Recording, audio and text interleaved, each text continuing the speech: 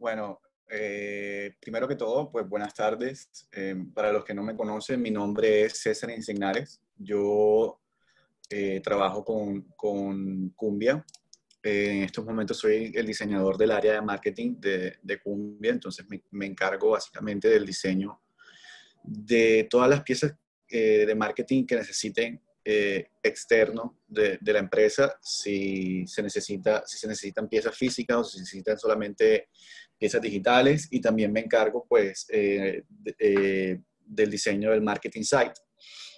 Eh, y nada, espero que todos estén bien y estén seguros en sus casas, sobre todo con, pues, con todo lo que está pasando en estos momentos. Yo les vengo a hablar, mi charla hoy es sobre ilustración y experiencia de usuario y cómo esta, cómo esta cómo esta afecta y ha venido cambiando un poquito más el paradigma de, de cómo es implementada en, pues, en los últimos años. No sé, ¿todos me escuchan bien? Perfecto, César.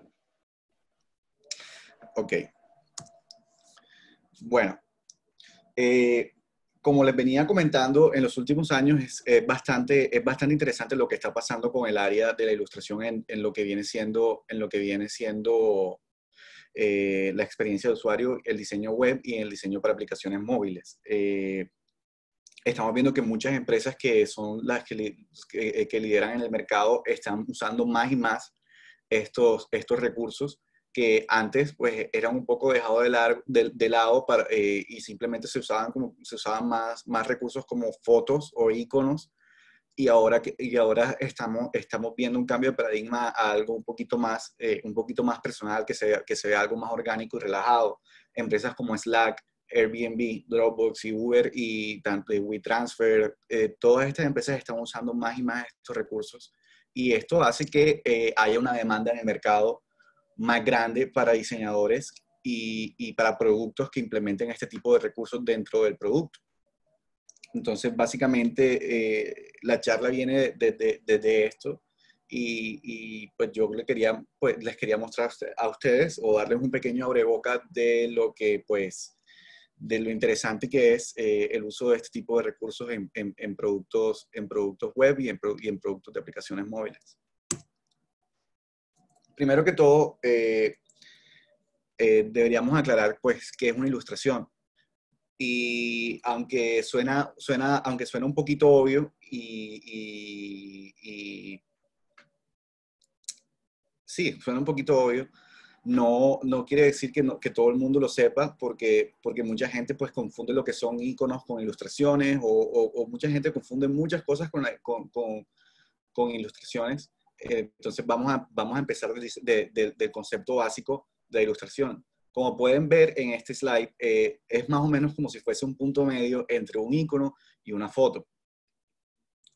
Un icono eh, eh, nada más tiene un solo significado y es, es, es, simplemente significa eso y ya. Por ejemplo, si tú pones el icono, como estamos viendo en la pantalla, de, de la hamburguesa, es simplemente, eh, es simplemente está representando una hamburguesa. En muchas aplicaciones eso viene, eso viene representando lo que, se, lo que es como que, bueno, vamos a entrar a la sección de restaurantes en Rappi, por así, por así decirlo. Una ilustración comunica más que, o sea, comunica, comunica más que solamente, que solamente eh, un solo significado comunica una idea. Es un poquito más compleja. O sea, tiene, tiene un poco más de concepto a esta y una foto es una, es, es, una representación eh, exacta de lo que se quiere mostrar. Es lo más literal que se puede mostrar, por, eh, eh, así decirlo. Hay diferencias entre las ilustraciones. Hay ilustraciones que pueden ser tomadas como si fuesen piezas de arte. Hay ilustraciones que son más que todo para uso editorial. Y hay ilustraciones que se usan para experiencia de usuario. ¿Cuáles son las diferencias entre estas? Pues eh, las ilustraciones, las ilustraciones, eh, estas, no las puse, estas no las puse en el slide, pero las ilustraciones que se usan más que todo para, para hacer como piezas de arte son mucho más personales. Eh, quieren, dar, quieren, eh, quieren dar a entender una emoción o, o, o, simplemente el artista dibujó eso para él y quiere, darlo, y quiere darlo a conocer. No tienen un propósito de comunicar algo en específico, por así decirlo, eh, para para generar algún tipo, algún, tipo de acción eh, en la persona que la está viendo. Una ilustración editorial es una abrebocas de lo que se va, de lo que del contenido que está dentro de la, de la, dentro de la pieza editorial, ya sea un artículo, eh, ya sea eh, un, blog post o una noticia o lo que sea. Eh, la ilustración editorial y la ilustración de experiencia pertenecen a un tipo, pertenecen a un tipo de contenido. es un, son un tipo de contenido, perdón. dentro de este contenido, pues podemos ver lo que son los copies o los textos, podemos ver lo que son las fotos, podemos ver lo que son los iconos, podemos ver lo que son diagramas, que son, que son pues, eh, más que todo como mapas conceptuales y todo esto, y pues están las ilustraciones. Una ilustración para, una ilustración para la experiencia quiere, quiere, quiere, eh, eh, una ilustración para la experiencia quiere mostrar algo al usuario y quiere, y quiere provocar en el usuario un tipo de acción. Quiere que el, el usuario, el usuario sea sea interactivo con esta, con esta, con, con esta ilustración. estas ilustraciones son testeadas, eh, son puestas a prueba por cómo el usuario las recibe o no. Y tienen varios usos, son, son reusables. Una ilustración editorial, por así decirlo, nada más se usa para una sola historia y ya. Si alguien está escribiendo una historia sobre, digamos, un tema, un tema actual que podría ser el coronavirus o, eh, eh, y la crisis que, que, pues, se está presentando mundialmente, esta ilustración solamente va a servir para esta historia y, para esta noticia, mientras que una, una ilustración eh, de, para experiencia es un recurso que puede ser usado en diferentes páginas eh, del, del, mismo producto, porque, porque es, eh, por así decirlo, un asset, se puede volver a usar. Están, están diseñadas o están hechas para que sean, para que tengan un uso bastante a largo plazo eh, este también es una diferencia grande, grande entre la ilustración editorial y la ilustración de experiencia. O sea, eh, como vamos al ejemplo que, eh, que les puse hace, hace nada, esa ilustración básicamente que se hace con el tema de una historia, por ejemplo, del COVID-19, simplemente va a servir para esa historia y simplemente va a servir durante, ese, durante este periodo de tiempo, estos meses, y ya esa, esa, esa, esa, esa ilustración pues pasa a ser eh, archivada, por así decirlo. Una ilustración de experiencia no. Tiene que, eh, tiene que, eh, este tipo de ilustraciones tienen que perdurar y pasar la prueba contra el tiempo. Y otra, otra, de, las, otra de las cosas que es un requisito para una ilustración de experiencia de, usuario es que sea interactiva que interactúe con el usuario, que algo pase cuando el usuario interactúe con ella, ya sea un estado de hover, ya sea un estado activo y, pues todo esto. Esto hace que incite más acciones dentro del usuario y por eso, por eso afecta a la experiencia del usuario dentro de un producto.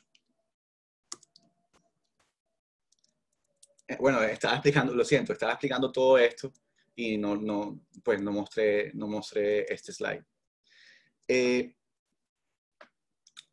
otra cosa que, pues, eh, que pasa mucho con, con, con, diseñadores de productos eh, es que muchos no tienen un background en, en, lo que viene siendo el uso de ilustraciones. Muchos diseñadores, pues, no dibujan y por eso le tienen un poco de miedo al tema. Dicen, yo no sé ilustrar, yo no puedo ilustrar. Eh, yo no tengo manera de usar estos recursos. Pues ahorita mismo en, eh, eh, en, el mercado tenemos bancos y bancos de ilustraciones que se pueden usar y se pueden cambiar el propósito de las ilustraciones con, unos simple, con, con simples modificaciones que toman muy poco tiempo y se ve y se ve y le da un toque personalizado a tu producto. Entonces eso, eso ya no ya no, ya no vendría siendo una excusa de que no, no puedo, no puedo hacerla yo, no las debería usar, porque se puede. Es algo que, como dice, como dice el slide, debería, deberían, deberíamos empezar a tener mucho más presente en nuestra caja de herramientas cuando estamos construyendo un sitio o cuando estamos construyendo una aplicación móvil. Eh, otra cosa, otra cosa que le tiene miedo, por ejemplo, mucha gente a usar, este, a usar este tipo de recursos es que de pronto va a hacer parecer, eh, de pronto va a hacer parecer eh, el producto algo inserio, algo, por así decirlo, algo para niños, algo que, nos, algo que no es para nada corporativo y pues eso también está, eso también está pues eh, revaluado, muy revaluado en estos momentos porque como estamos, como estamos viendo en el mercado ahorita mismo, empresas y eh, empresas, compañías y aplicaciones que lideran a, nivel mundial están usando estos recursos de manera muy consecutiva y de manera exitosa. Y se ha probado que pues eh, es, es bastante efectivo usar este tipo de recursos. Entonces, pues eh, básicamente, pues yo,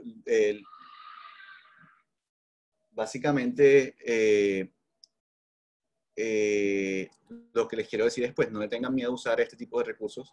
La ilustración es algo que, que le da mucho más interés a su, a su, a, su producto, lo hace, lo hace mucho más interesante y los hace mucho, mucho más personalizado y menos estéril hacia un usuario que pues se quiere, pues, quiere sentir pues que la atención es más personal para él que simplemente para una cantidad, una cantidad eh, no específica de gente. Y bueno, eh, eso ha sido todo. Muchas gracias. No sé si tienen preguntas o, no sé, sugerencias, sugerencias reclamos. Eh, los Dale luz. Los invito a si tienen alguna inquietud acerca del tema que ha, sido expuesto por nuestro compañero César, las pueden anotar en, en el chat. Eh, y pues así podemos ir respondiéndolas eh, de manera organizada o si quieren hablar también pueden pedir el turno y pues vamos, em, vamos dándole su, su oportunidad de hablar. Hay una pregunta. Tengo una pregunta, Lu. Ok. Em, Marco Díaz dice, ¿qué tanta debe ser? ¿Qué dice? Sí, creo que, creo que, creo La que, redactó. creo que se comió una o dos palabras, no sé. Sí. Ok.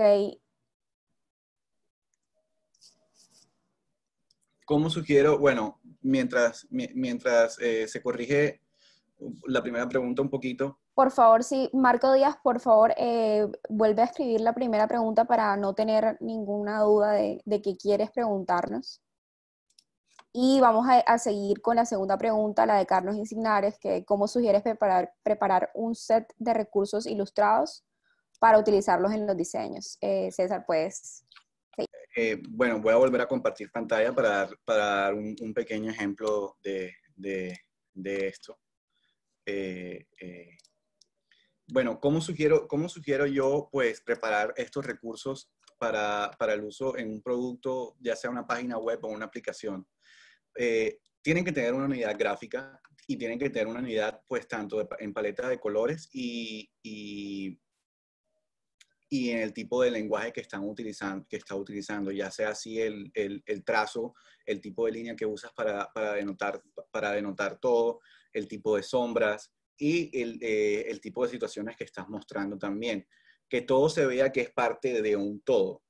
Mm, eh, como estaba mencionando ahorita, si las vas a tomar pues, de un banco de ilustraciones, eh, trata, de que, trata de que más o menos de que sean siempre como que del mismo artista o del mismo paquete, porque si, si usas de, estos recursos de dos artistas diferentes o de dos paquetes diferentes, puede que llegue a funcionar en algún tiempo, pero, pero normalmente lo más seguro es que se vaya a ver un poco, que se vaya a ver un, poco de, discontinuidad entre, entre una cosa y otra. Entonces, como podemos ver, este son un set de ilustraciones que yo estoy ahorita mismo preparando.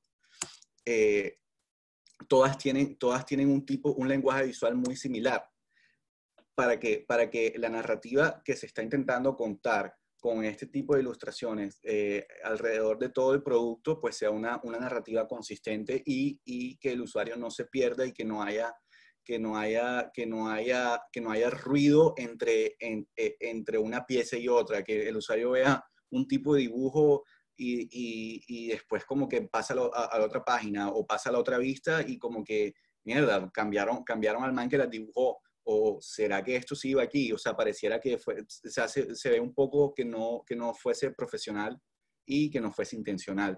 Entonces, pues, eh, la recomendación más grande que yo les doy para, para pues, preparar este tipo de recursos en productos es que tengan, que tengan continuidad entre una y otra.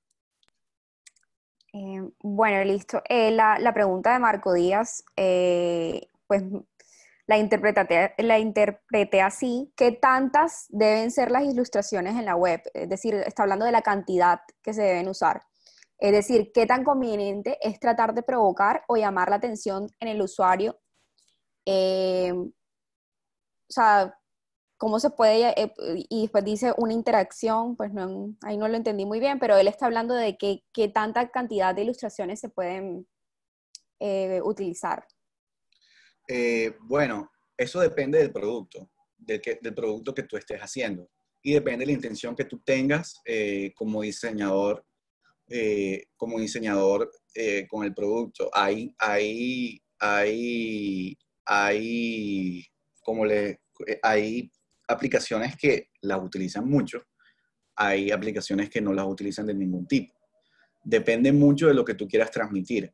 Si es una, y también depende tanto, también depende full de la identidad de tu marca. Si tu marca, pues, si tú, si tú piensas que tu marca es una marca que, es, que habla de una manera en la que las ilustraciones, pues, son mucho más efectivas de usar que simplemente, pues, iconos o diagramas, o diagramas o diagramas de texto como mapas conceptuales y esto, pues eh, obviamente tu producto se verá afectado de esa forma y, utilizarás mucho más, muchas más, muchos más recursos ilustrados dentro, dentro de, ese, de ese tipo de, de producto.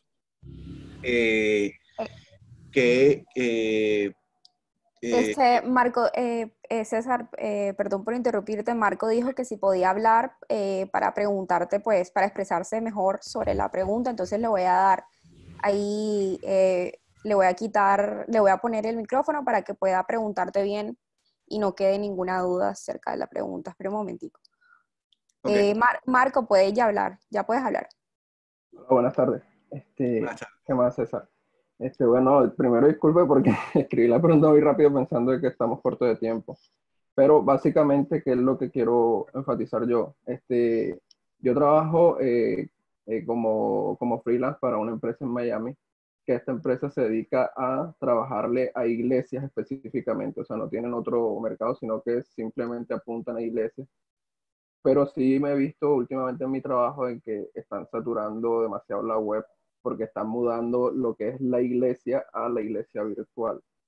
O sea, están, por ejemplo, el Ministerio de los Niños, eh, lo están mudando a la web, entonces crean recursos para niños, eh, jóvenes, ancianos.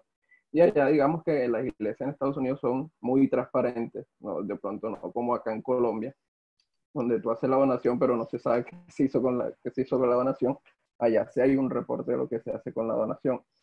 Entonces, eh, yo como eh, eh, pues bueno, como frontend, eh, mm, muchas veces me estoy sintiendo muy incómodo y de pronto sí me da un poco miedo expresarle al cliente de que trate de no saturar su página con imágenes o con ilustraciones que tú estabas mencionando que son, tratan mucho como de llamar la atención, entonces creo que está llamando la atención demasiado en la página y sí me gustaría como decir al cliente, ahí mira, este, este, trata como que de usar una ilustración como para llamar la atención a, tales, ministerios, a tales ministerios y a tales no. Entonces sí me gustaría que de pronto me explicara ya enfocado, digamos, que a ese principal producto que es eh, ministerios para la gente. Sí, eh, correcto. O sea, estoy con lo que tú estás diciendo, estoy totalmente de acuerdo. Eh, hay veces que la gente, pues, por así decirlo, se quiere pasar de piña y termina usando, o sea, parece, parece más un, parece más un cómic que una página. Entonces, esto, esto puede llegar a ser contraproducente para el mismo producto. Por aquí un colega que, que está aquí ahorita mismo en la reunión y, y, ahorita va a hablar, eh, siempre me dice, si todo es llamativo, pues nada es llamativo. Entonces, el, eh, para mí el truco es encontrar un punto medio. Lo que le puedes decir a tu cliente es que tienes todo este tipo de, todos estos recursos eh, que son muy llamativos al ojo, pero si los está utilizando todos al tiempo, el, el usuario no sabe para dónde mirar, porque todo le está llamando la atención. La idea es que sean un punto focal. y que tengan una intención entre estas. Si, si, si tenemos demasiados recursos ilustrados en, en, una página, puede llegar a ser contraproducente para el mismo producto y perder el valor, perder el, o sea, perder el valor individual de cada recurso que estás utilizando porque los estás mostrando todos abarrotados. Entonces, sí, o sea, de pronto tu cliente piensa que, tu cliente, de pronto tu, cliente piensa que eh, entre más muestres mejor, pero, pero eh, pues lo que creo que todos los que estamos acá y trabajamos en el campo sabemos que, que no siempre es así y la mayoría del tiempo no, no es así. Entonces, eh, sí, tampoco, tampoco es asollarse a, a, usarlas a, usarlas todo el tiempo. Cuando yo digo, pues no le tengan miedo a usarlas, es porque hay gente que, pues, es tímida con el uso de estas y no, o sea, ni siquiera lo consideran como una posibilidad, pero tampoco es que te vayas a, te vayas a volver loco usando todo este tipo de recursos.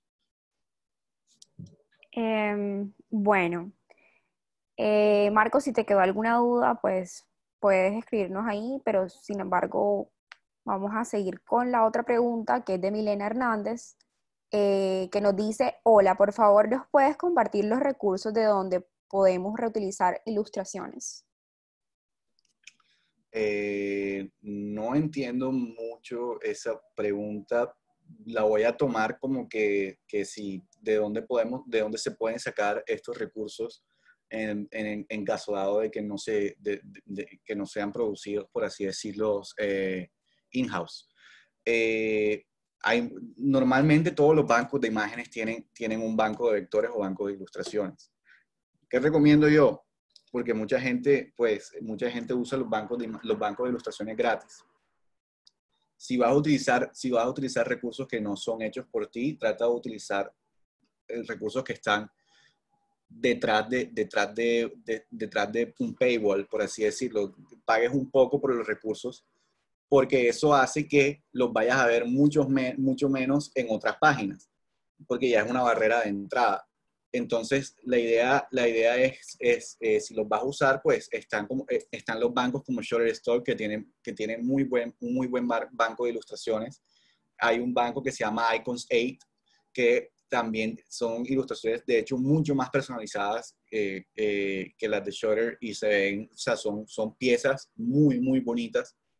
Es un, un, poquito más difícil de usar porque son piezas de pronto un poquito más, muy específicas y, y, y es difícil encontrarle un, encontrar un propósito general para este tipo de piezas, pero son, son si, si, si uno las logra encontrar en un contexto que sirvan para estas, pues se ve muy, muy bien.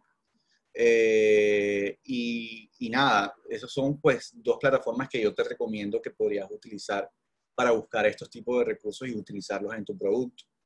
Lo que yo más recomiendo es, por ejemplo, pues no, eh, si, es un, si es un producto que va a salir al aire y es comercial y pues va a tener una audiencia, por así decirlo, masiva, trata de, trata de no usar recursos gratis porque de pronto eh, va a hacer que, eh, por ejemplo, la gente va a ver, va a ver eh, esa ilustración en tu, en tu, diseño o en tu producto y va, y va a ver, ah, mira, la sacó de FreePic. Entonces, hay que tener un poquito, un poquito de cuidado con eso. bueno, listo, pasamos a la siguiente. Carlos Insignares nos pregunta que cómo es el proceso para planificar un set de ilustraciones para una serie de piezas digitales. ¿Cómo es el proceso para planificar un set de ilustraciones? Bueno, básicamente eh, depende, como, como decía antes, depende bastante del producto. Muchas veces, muchas veces, eh, muchas veces a uno le toca tomar una decisión entre qué tipo, qué tipo de, qué tipo de recursos, eh, qué tipo de imágenes vas a usar en tu producto.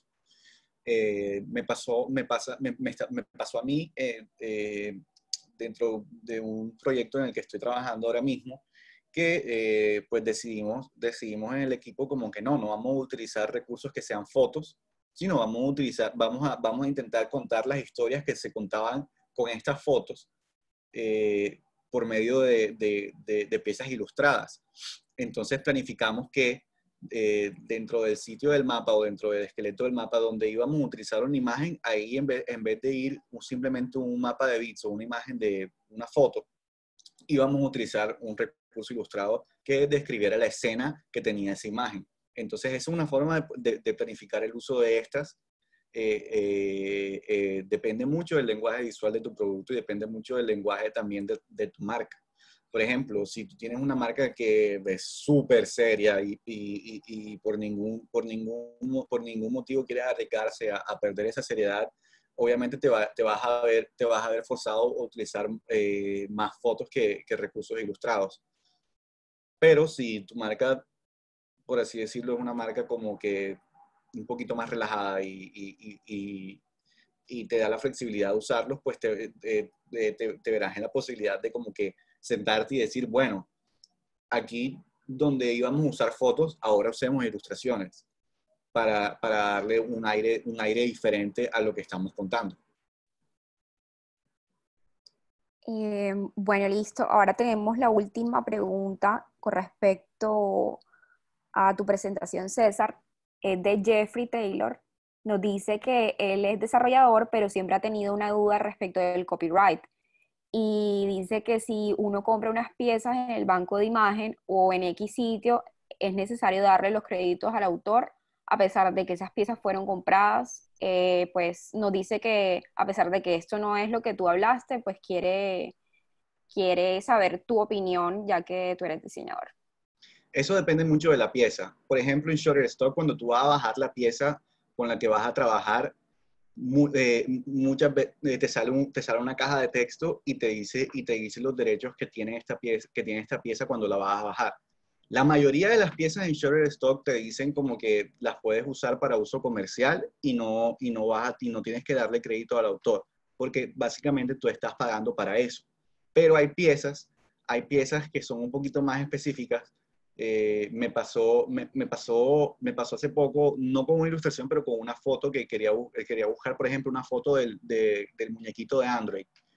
Entonces bajé esa foto y en la caja de texto era una caja de texto diferente y te decía como que tú puedes utilizar esta foto para, para cierto tipo de uso, pero no lo puedes usar para, para uso comercial. ¿Por qué? Porque, eh, por así, por, porque el muñequito de Android es una marca registrada. Entonces ahí ya sí estás infringiendo un copyright pero como, son, como la mayoría de las ilustraciones pagas o, gratis en bancos de imágenes son eh, eh, libres de, royalties, por así, decirlo, eh, no, no vas a tener o sea, en la mayoría de los casos no vas a tener, que darle crédito al autor si estás pagando por la pieza. Em, bueno, listo. Por ahora no veo más preguntas, entonces eh, muchas gracias César. Yo creo que ya quedó todo claro, entonces podemos seguir con la siguiente presentación. Listo. Eh, si tienen, sin embargo, si tienen alguna duda, pueden escribir y al final de, todas las presentaciones eh, podemos hacer una, una ronda de preguntas. Listo, gracias Lu. Eh, bueno, continuamos. Eh, la próxima charla va a cargo de Yesid, Durán. Eh, pues él nos va a hablar sobre conociendo e integrando Webpack en nuestros proyectos web. Yesid, ¿está, ¿estás listo? ¿Qué más, Fabián? sí, voy a compartir la pantalla. Listo, cuando quieras, pues nos compartes, te presentas y pues... Gracias.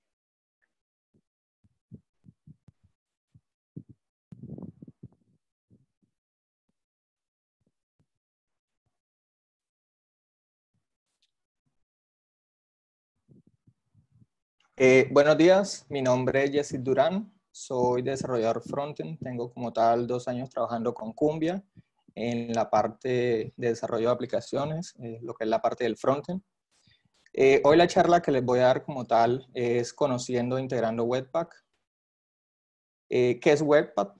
Pues es una herramienta para el desarrollo de frontend que nos permite agrupar todos los módulos de, una aplicación en un solo archivo de JavaScript y que este pueda ser ejecutado en el navegador.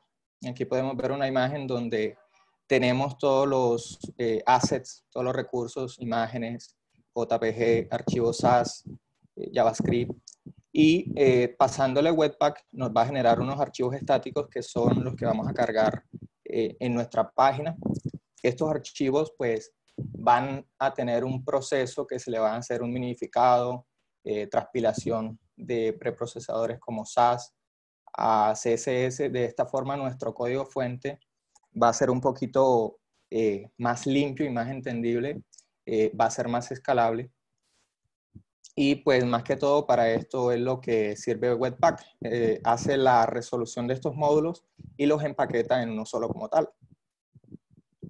¿Por qué usar Webpack?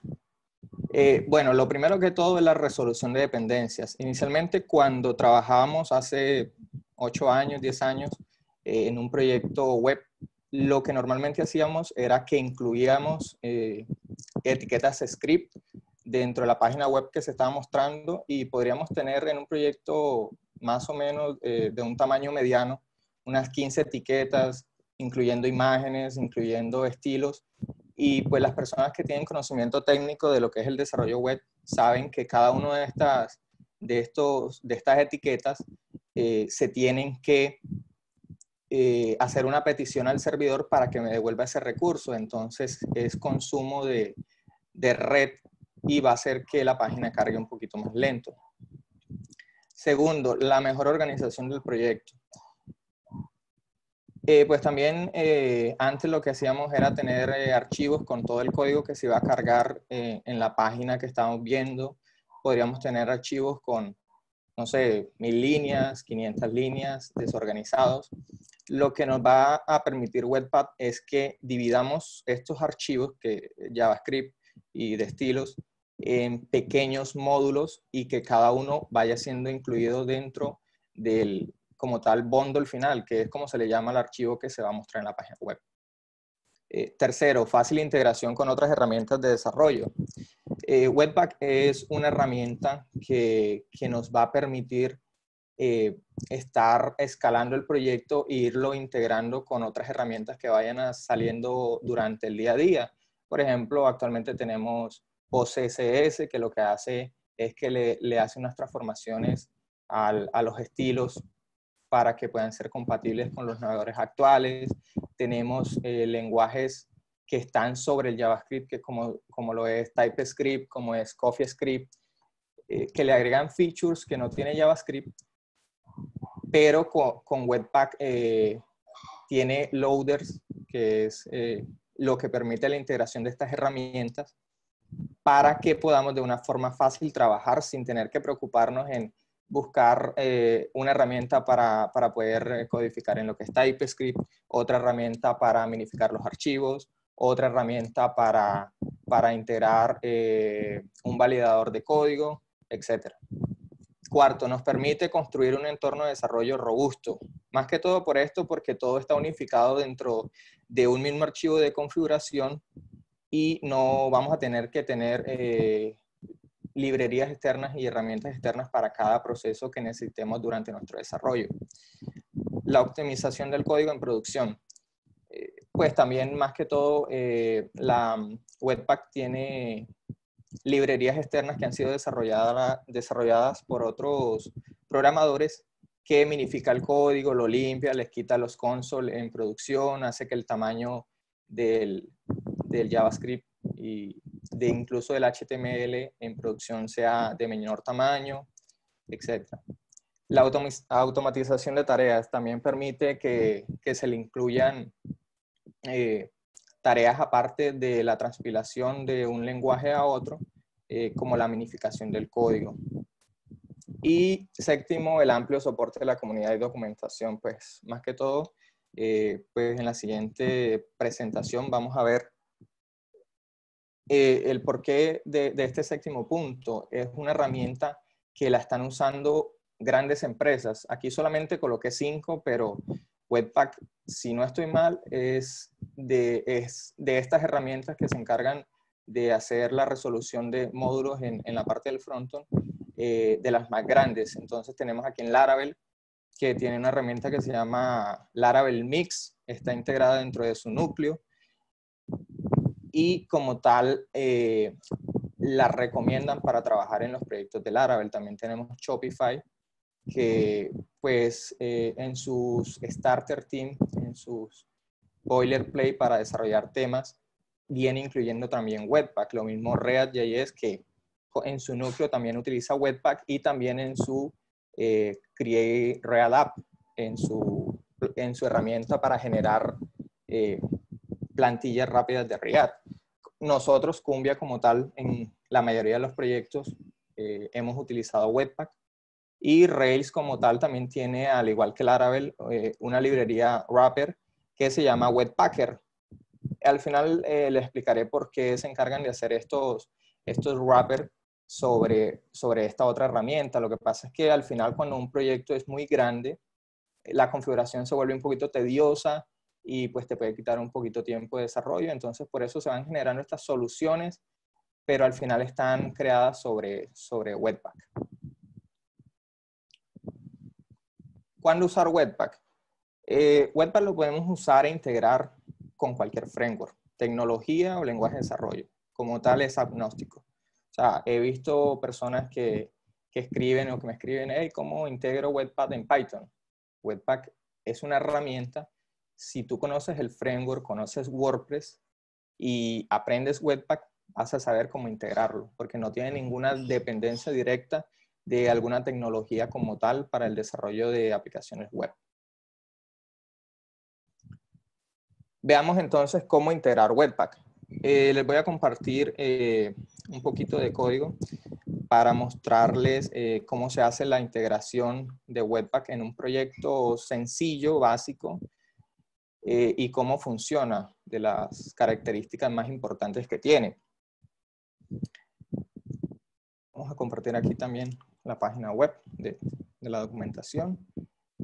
Y aquí fácilmente eh, me dice cómo instalar Webpack, que simplemente es eh, correr, bueno, primero que todo, iniciamos nuestro proyecto, tenemos la estructura de carpetas, este es un proyecto que no depende de, ningún framework, no es WordPress, no es Laravel, no es Rails, no es ninguno de eso, es simplemente una estructura de carpetas creada por mí. Y lo único que hago es, primero que todo, correr el comando npm init para iniciar eh, npm dentro de mi proyecto. Eso me va a, a, pedir pues que rellene esta información que está acá. Ya obviamente las personas que estén escuchando eh, pues esto no tiene que, esta parte no tiene nada que ver con Webpack, pero es la herramienta que nos permite instalar Webpack. Entonces es simplemente sencillo, se corre ese comando y se acepta y me va a generar este archivo. Dentro de este archivo tenemos lo que son las dependencias de desarrollo. En general, casi todo lo que tenga que ver Webpack son herramientas de desarrollo que no se van a, ver reflejadas como tal en producción, eh, sino que simplemente se utiliza para agilizar el desarrollo, para, eh, generar el bundle, etc. Entonces, después de que tenemos esto, ya podemos empezar a, instalar primero que todo el Webpack y el Webpack Clip, que esta como tal es la herramienta que me va a permitir ejecutar el Webpack. Y por último, el Webpack Deck Server, pero por lo más básico simplemente necesitamos estas dos para trabajar. Luego que hice la documentación de Webpack, que necesitamos un archivo de configuración, es esto. Aparte de instalar esas dos dependencias, lo tercero que necesitamos es un archivo de configuración.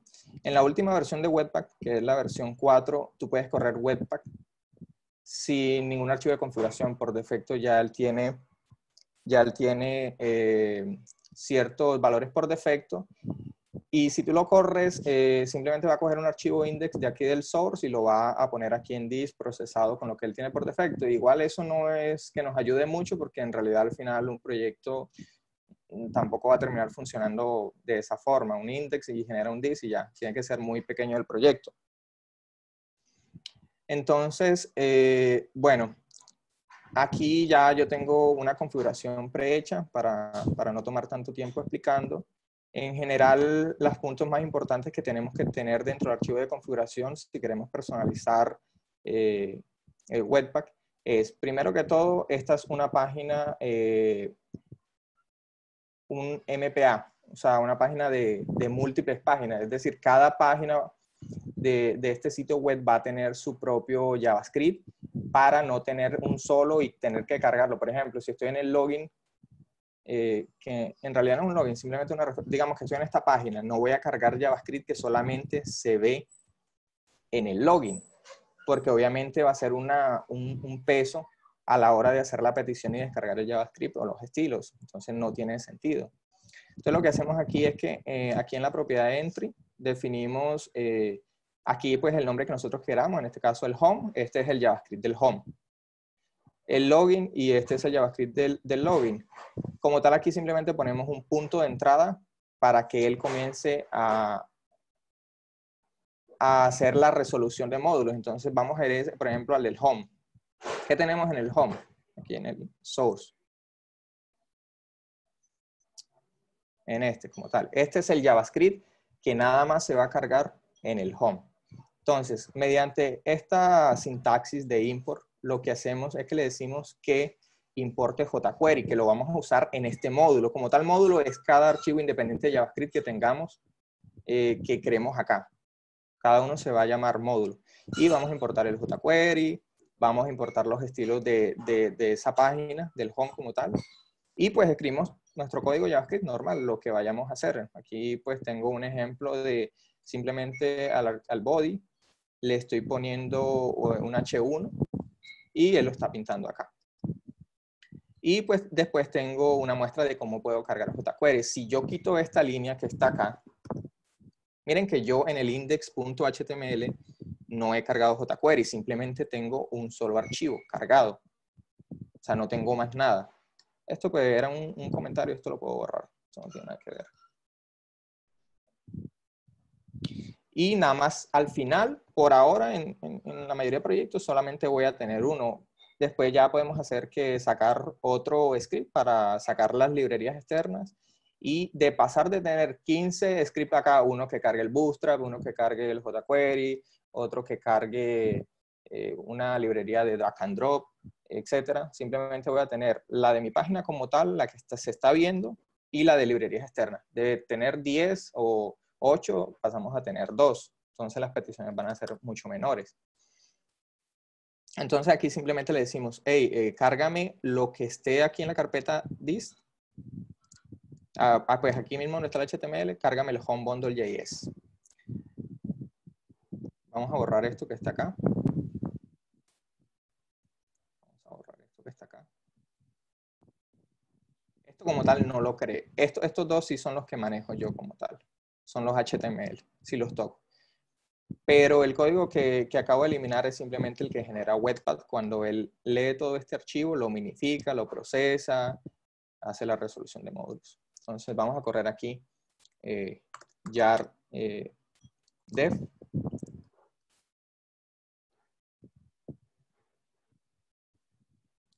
¿Qué hizo esto? Miren, aquí apareció el home bundle y el login bundle. ¿Qué hizo él? ¿Qué hizo Webpack? ¿Cómo funcionó por debajo? en el paquete JSON yo declaré dos scripts. Y, esto lo, lo, crean ustedes mismos. Simplemente ponen aquí lo que quieran. Pueden poner, no sé, prueba. Y según lo que pongan ahí, eso es lo que van a correr acá. Ya prueba. Obviamente, pues, eh, hay unos estándares por ahí de que normalmente al comando de desarrollo le ponen dev, hay otros que le ponen start, pero no salen de ahí. Eh, al de build, que es el de producción, le ponen producción o le ponen build, al que es watch, y eso se lo voy a explicar ahorita qué hacen cada uno. Entonces yo corrí el comando dev y miren, aquí me generó como tal el home bundle y ustedes dirán, pero yo cómo voy a tocar este código si se ve a leguas que no es legible. Esto jamás nunca lo van a tocar. estos dos archivos o los que generen, de acuerdo nunca los van a tocar, porque eso como tal es el proceso que acaba de hacer Webpack y eso es lo que van a cargar en el browser. El que van a tocar ustedes es su código fuente, el limpio, el que ven acá y el que es entendible. Eh, también ustedes dirán, pues yo tengo aquí eh, que 65 líneas y allá me están apareciendo, no sé, ciento, ciento y pico. Es simplemente porque como 50 líneas como tal es la parte de Webpack, pero a medida que ustedes agregan miles y miles y miles de líneas de código acá, es donde se ve el reflejo del peso. Eh, en, cada uno de los módulos que ustedes vayan agregando, simplemente las líneas de Webpack van a ser eh, más o menos como 80 y el resto va a ser el código que ustedes escribieron acá. Entonces, miren que aquí en el index.js yo puedo utilizar features porque aquí en la configuración eh, puedo utilizar features de de una versión de JavaScript de los nuevos estándares que aún los browsers no lo soportan.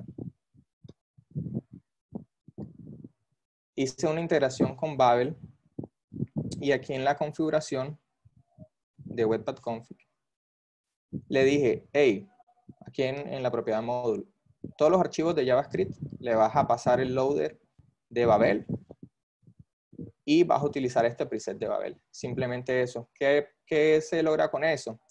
De tener un código de esta forma, eh, aquí.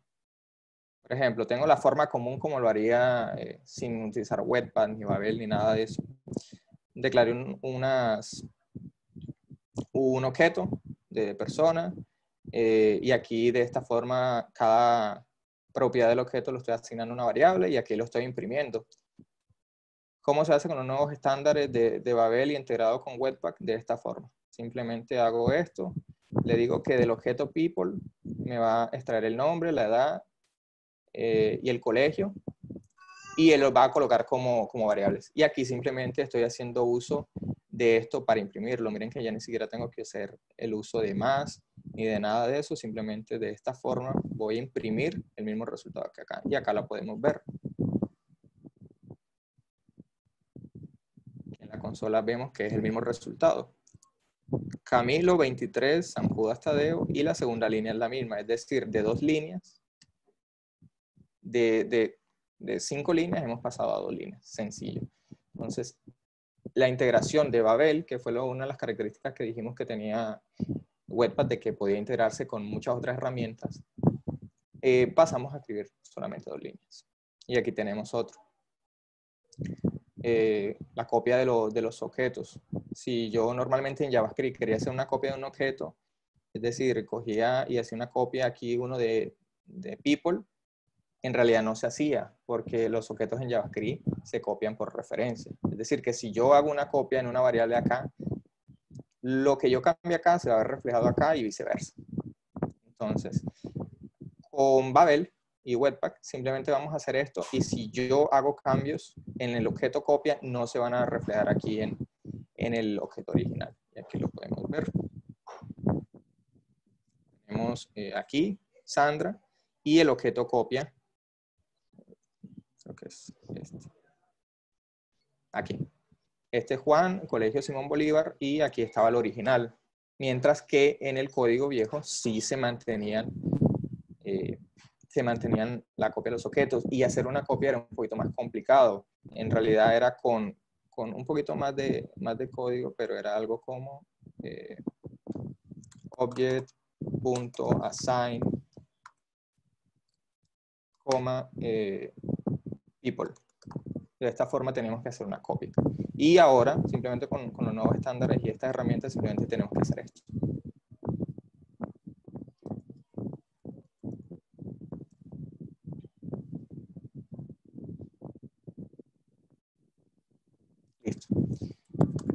¿Qué más? Em, bueno, aquí inicialmente como lo estaba haciendo, yo mismo tengo que recargar la página. Mismo tengo que recargar la.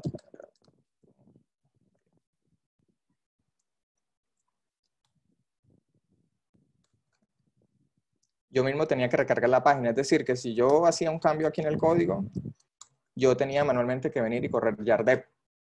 Él tiene un comando que se llama watch, que lo que hace es que cada vez que yo haga un cambio acá, el mismo va a compilar automáticamente cuando yo guarde el, el código. Entonces vamos a activarlo acá. Eso también lo definí yo aquí en el, en el JSON. Entonces simplemente le digo lo mismo que estaba arriba en el dev, pero agregándole a la línea de comandos un guion guion watch. Entonces ya con esto eh, yo voy a poder ver reflejados los cambios.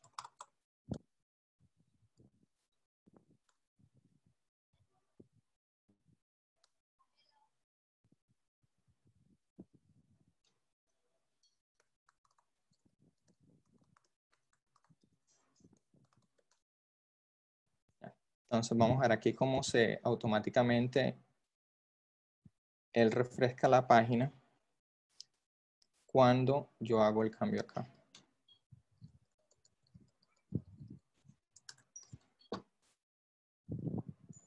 Creo que tuve un problemita.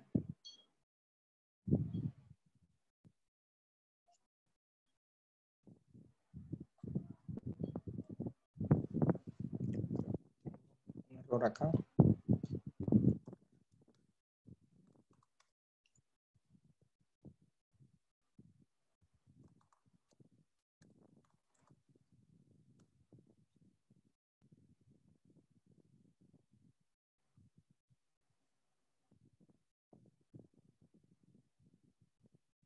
Vamos a cargarlo aquí en el 8081. Bueno, ya me está cargando. Vamos a ver.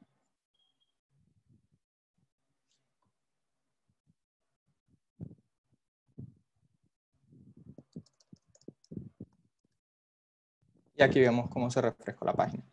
Eh, el, el, comando inicial que, que, corrí, creo que tengo una falla, pero al final vamos a pasar directamente a lo que es Webpack Deck Server que es una herramienta que me crea un servidor para cargar aplicaciones de Webpack. Y esta es la opción mucho más avanzada que tiene más, más características. Entonces, simplemente creamos aquí un último comando que se llama server y le decimos que haga una recarga en caliente, que es lo que van a ver ahora. Sin recargar la página, él va a hacer los cambios directamente. Entonces, vamos a coger un estilo acá. Y vamos a decirle que me cambie eh, el color de la letra a yellow y ahí están viendo que ni siquiera se refresca la página. ¿Qué agregué en el archivo de webpack config? Simplemente esta opción que está acá, deck server. Simplemente le pongo el hot o se lo puedo poner directamente aquí en el package JSON. Y él directamente eh, va a ir refrescando los cambios acá que yo haga. Entonces, eh, vamos a cambiar el tamaño de la letra, 80, y directamente voy viendo los cambios. Vamos a ponerle red y acá vamos a ponerle white. Entonces, todos los cambios que yo voy haciendo acá simplemente se van refrescando acá y no tengo que estar eh, refrescando acá, que hice un cambio acá, que una línea acá. No, simplemente eso. Entonces, eh, como tal, así es como funciona Webpack. Eh, también hay una característica, pero no la alcancé a detallar, que es él es capaz de, conseguir eh, código de, JavaScript eh, de acuerdo a lo como lo vaya solicitando el browser. Entonces, si el browser va necesitando un script, va pidiendo ese pedacito de módulo directamente al servidor y no va a tener que cargar. Incluso eso es mucho más, más eh, es mucho mejor en el performance de la aplicación, pero ya eso sería para aplicaciones mucho, mucho más grandes. Es una aplicación mediana como es lo que desarrollamos eh, en el día a día, hacer trabajar de esta forma es suficiente. Entonces, eso es todo. Eh, aquí pueden encontrar más documentación acerca de lo que es Webpack. Pueden, este, el archivo Webpack config es como tal código JavaScript. Aquí ustedes pueden meter condicionales, pueden hacer locuras con todo esto, pueden hacer que en producción cargue un, un JavaScript eh, un entry point diferente a cuando lo carga en, desarrollo. Pueden aquí en la parte de plugins, eh, que es quien se carga de minificar el CSS, cuando lo va a poner a producción, puede decir que, por ejemplo, que en desarrollo no lo, simplemente haciendo algo más o menos así, como que si desarrollo es igual a development, o, no, perdón, aquí, producción,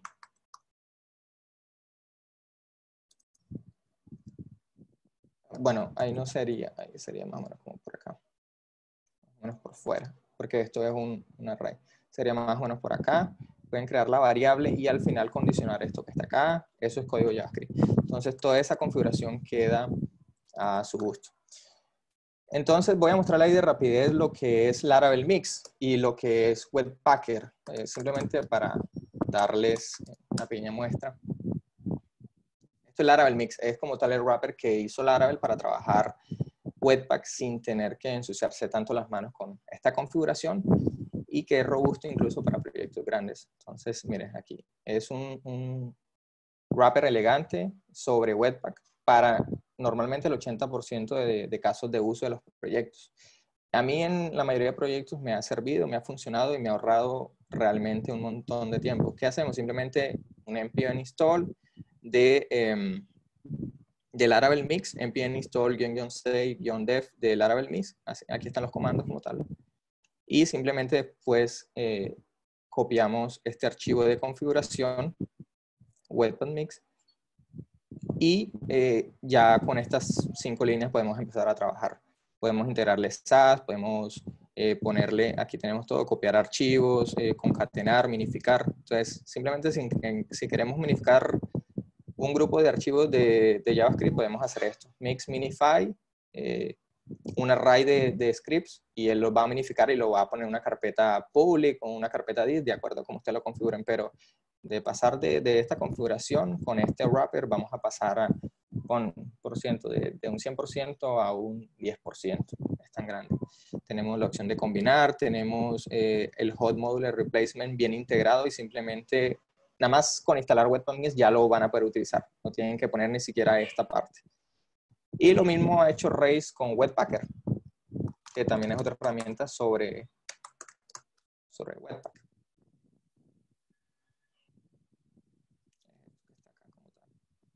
Simplemente lo tienen que importar y ya lo tienen que empezar a usar y ya estarían utilizando Webpack. Bueno, eso es todo. Si tienen alguna pregunta con respecto a qué cosas se podrían hacer Webpack, qué proyectos eh, se podrían manejar, no sé, alguna pregunta relacionada con esto, eh, pueden, pueden hacerlo y yo se lo voy a responder.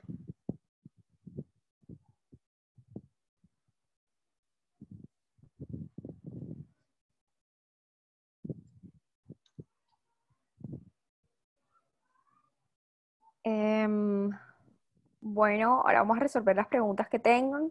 Vayan dejándolas en el chat y pues las vamos a ir respondiendo.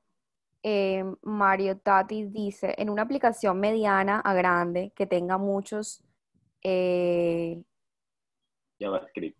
JavaScript, al tener una sola línea bundle en los layouts, ¿no estaríamos en algunos casos cargando scripts en páginas que no lo necesitan? En esas páginas tendríamos mal performance. ¿Cómo evitar cargar JavaScripts innecesarios? Como tal, eh, Webpack normalmente uno lo empieza utilizando con React. Todas las aplicaciones de React son eh, aplicaciones de una sola página que cargan un solo JavaScript y, no se va refrescando. Entonces vamos haciendo la funcionalidad eh, directamente, pero eh, les voy a volver a compartir pantalla para que, para que lo vean. esos, esos splits de, de, JavaScript por página lo vamos a poder hacer acá. Ya eso depende cómo tengas programado hacer tu, página web. Es decir, aquí voy a decir, hey, en este index.js yo voy a cargar solamente y voy a importar simplemente las dependencias que necesite para, para la página del home. Y al final me va a generar el home bundle, es decir, este es el que voy a incluir solamente en el home.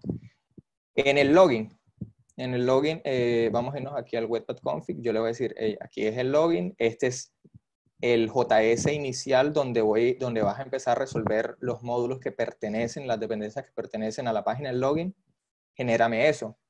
Y entonces él viene y te genera aquí el, el login bundle.js y ese nada más es el que vas a importar en el login. Este no lo vas a importar en el login. Y así dependiendo de la cantidad de páginas que tengan. Hay otros casos donde simplemente voy a tener un solo JavaScript para, para toda la página, como en el caso de React, eh, en su mayoría siempre tenemos uno o dos bundles eh, porque tiene que estar cargado casi todo y esas páginas no se recargan, se le llama single page application. Entonces no se recargan como tal, nada más se mantiene uno, entonces viene directamente uno y ¿qué hace? Pone algo así, de esta forma. Simplemente, hey, ese es mi archivo de entrada de mi aplicación React, de ahí voy a cargar todo lo que va a cargar esa aplicación y. Pero en, aplicación, en la mayoría de aplicaciones WordPress estoy seguro que lo van a hacer de esta forma, es decir, va a tener la página del home, el login, eh, la página de registro, la página, si estás utilizando WooCommerce, vas a cargar la página del checkout, eh, aquí, de esta forma, le voy a poner checkout, y eh, creamos aquí en el source otro archivo que se llama checkout.js y ahí metemos el código solamente para el checkout. Entonces no te va a sobrecargar la página.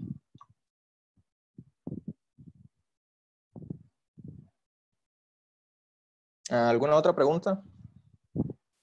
no sé, de pronto alguna herramienta para, para integrar con Webpack. Eh, tenemos eh, un montón. Aquí podemos encontrar en la propia página de Webpack los plugins que, se le pueden agregar. Más que todo lo que nos interesan son loaders para cargar eh, archivos directamente. Ah, bueno, aquí tengo un ejemplo claro.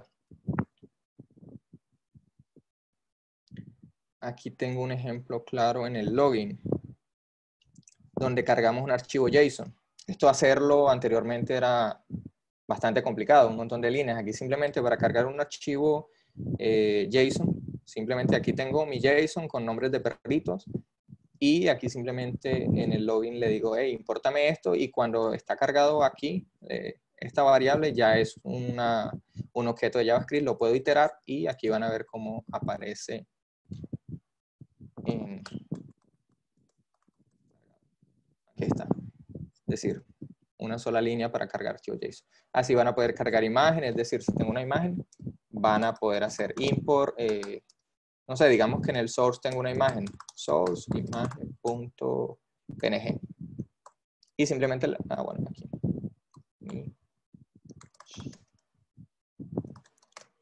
Y esto quedaría con la imagen cargada y simplemente ya podemos eh, hacer, eh, no sé, un, algo con JavaScript que cargue esa imagen.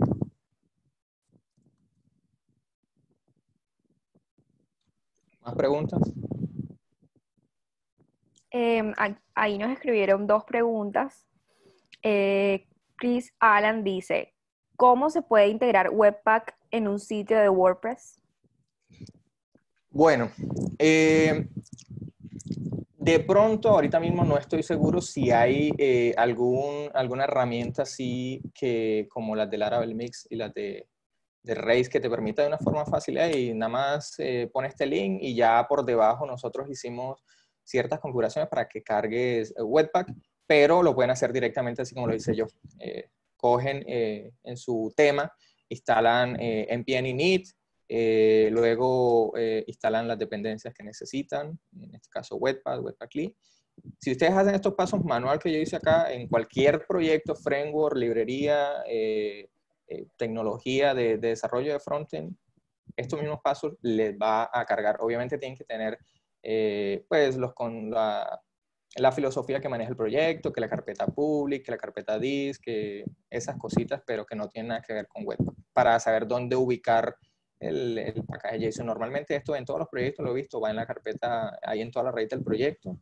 Y simplemente con esos pasos, coger el paquete JSON, poner esto acá, poner los scripts literal así como lo tengo yo eh, y decirle la carpeta donde va a generar los bundles, ya con eso pueden eh, utilizar Webpack.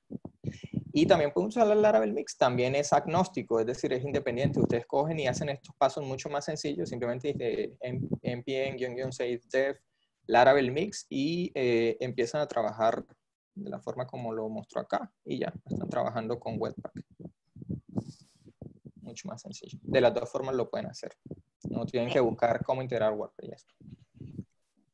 Em, bueno, listo, gracias Jessit. Aquí hay otra pregunta de Marco Díaz. Dice em, que si tienes algún ejemplo de alguna página que tenga Webpack y otra sin Webpack y comparar los tiempos.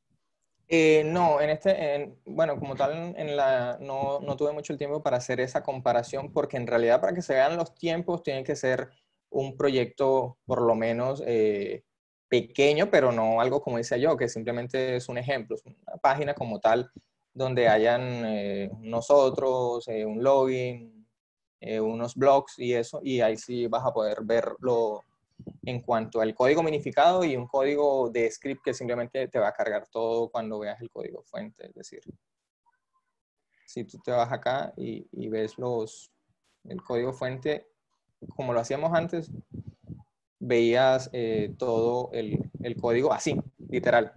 Pero si nosotros corríamos, si nosotros corríamos ya el comando final, que es el de tirar producción, porque aquí como tal todos los comandos que utilizamos fue de desarrollo. Ya eh, creo que le puse build, jar build, para ver que el código que genera es minificado.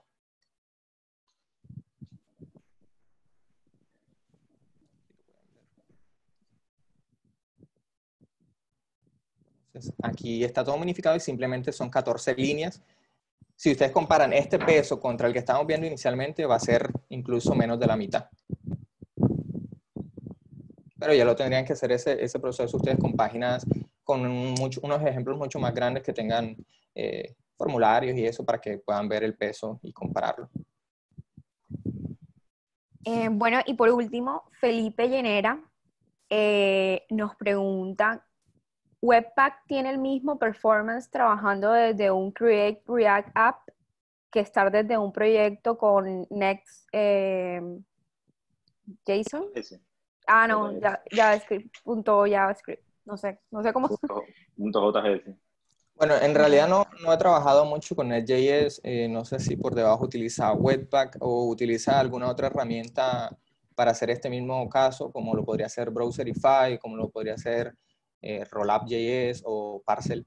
Eh, pero si trabaja con Webpack, eh, la única diferencia al momento de generar el bundle eh, y del performance va a ser en cuanto a las configuraciones que le hayan hecho a, a ese, a ese start, a esa herramienta de, para generar plantillas de, React, ya sea quien lo tenga mejor, sin Next o Create React Pero como tal, Create React tiene unas configuraciones óptimas ya predefinidas para trabajar con, con Webpack. Pero no te podría decir la comparación porque no he trabajado con Next.js. Bueno, listo. Eh, vamos a continuar para que nos alcance el tiempo y, y pues sigamos adelante ahora con, con, la próxima charla. Gracias, Yesid. Eh, bueno, ahora pues la próxima charla que, que, que, vamos a tener pues se llama Apaga las luces. Eh, es nuestro compañero y amigo César Serpa. César, ¿estás listo? Sí, señor. Bueno, cuando quieras puedes compartir pantalla y pues adelante. Dame un segundo.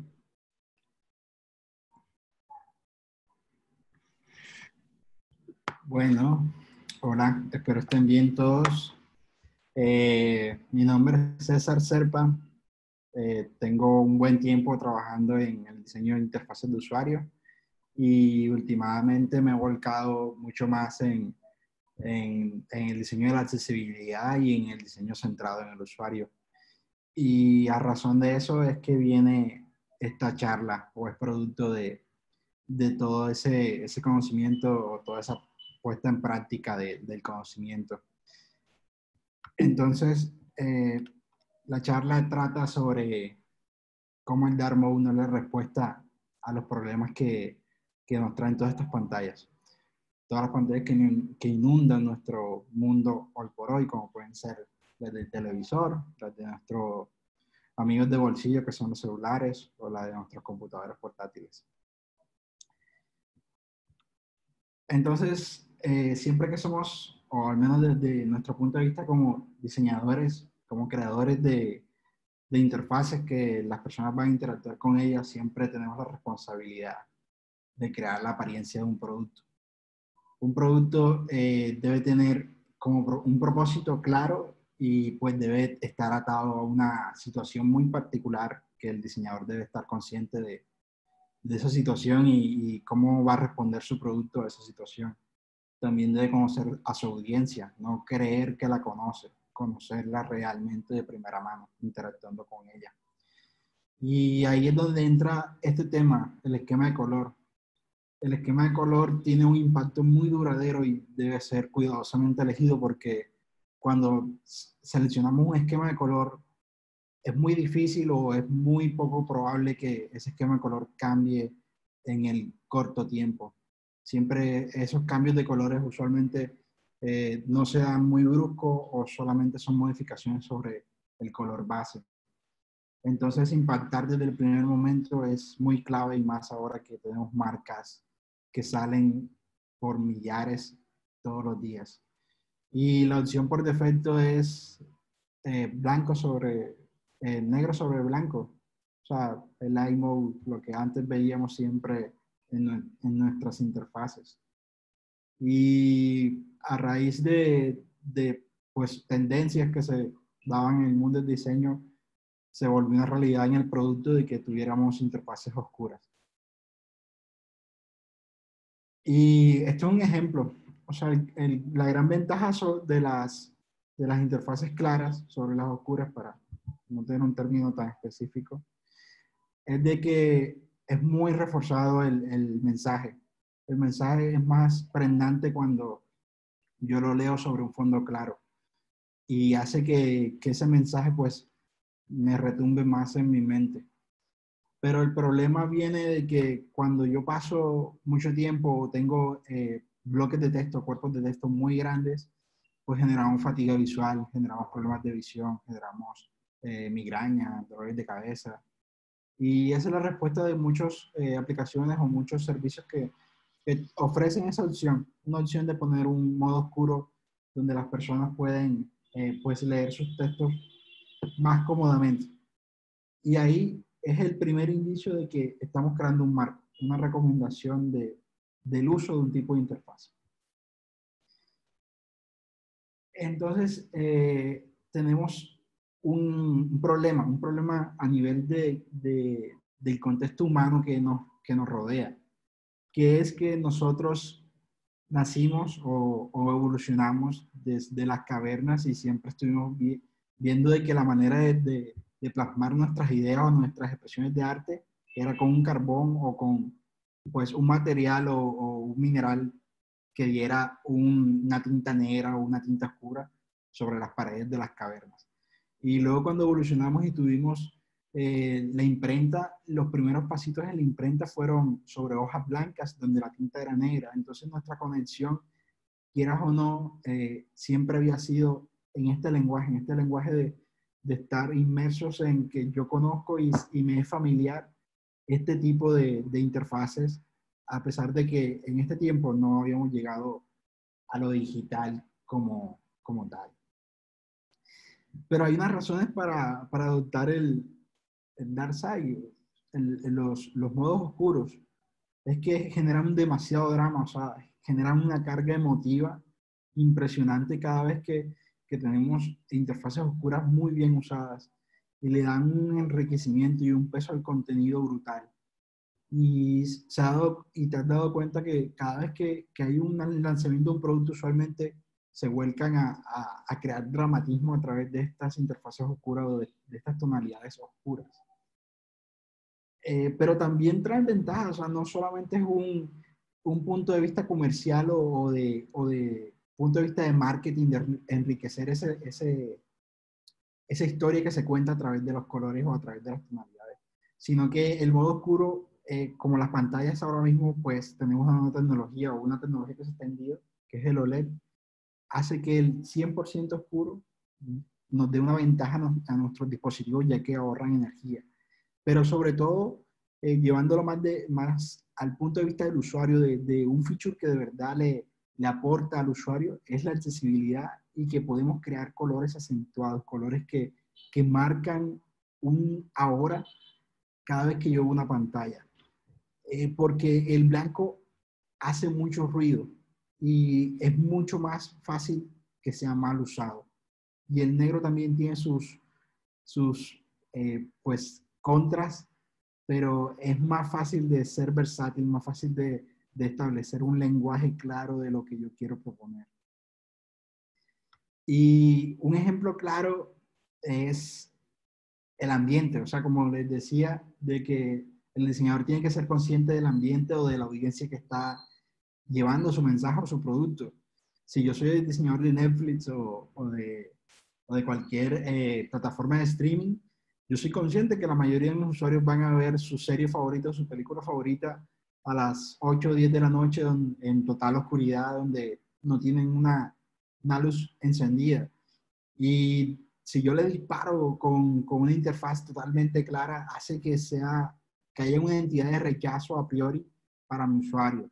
En cambio, si yo calmo los colores, si yo los neutralizo, si yo los hago más oscuros, hago que el contenido que yo estoy vendiendo, que quiero que, quiero que vean, realmente sea el importante. Y en este caso muy concreto, el contenido se vuelve el rey de mi, de mi interfaz. Otro ejemplo claro son los sectores de la banca y el gaming. El gaming siempre, siempre ha estado relacionado con, con las interfaces oscuras, las lucecitas, los neones y todo este tipo de cosas.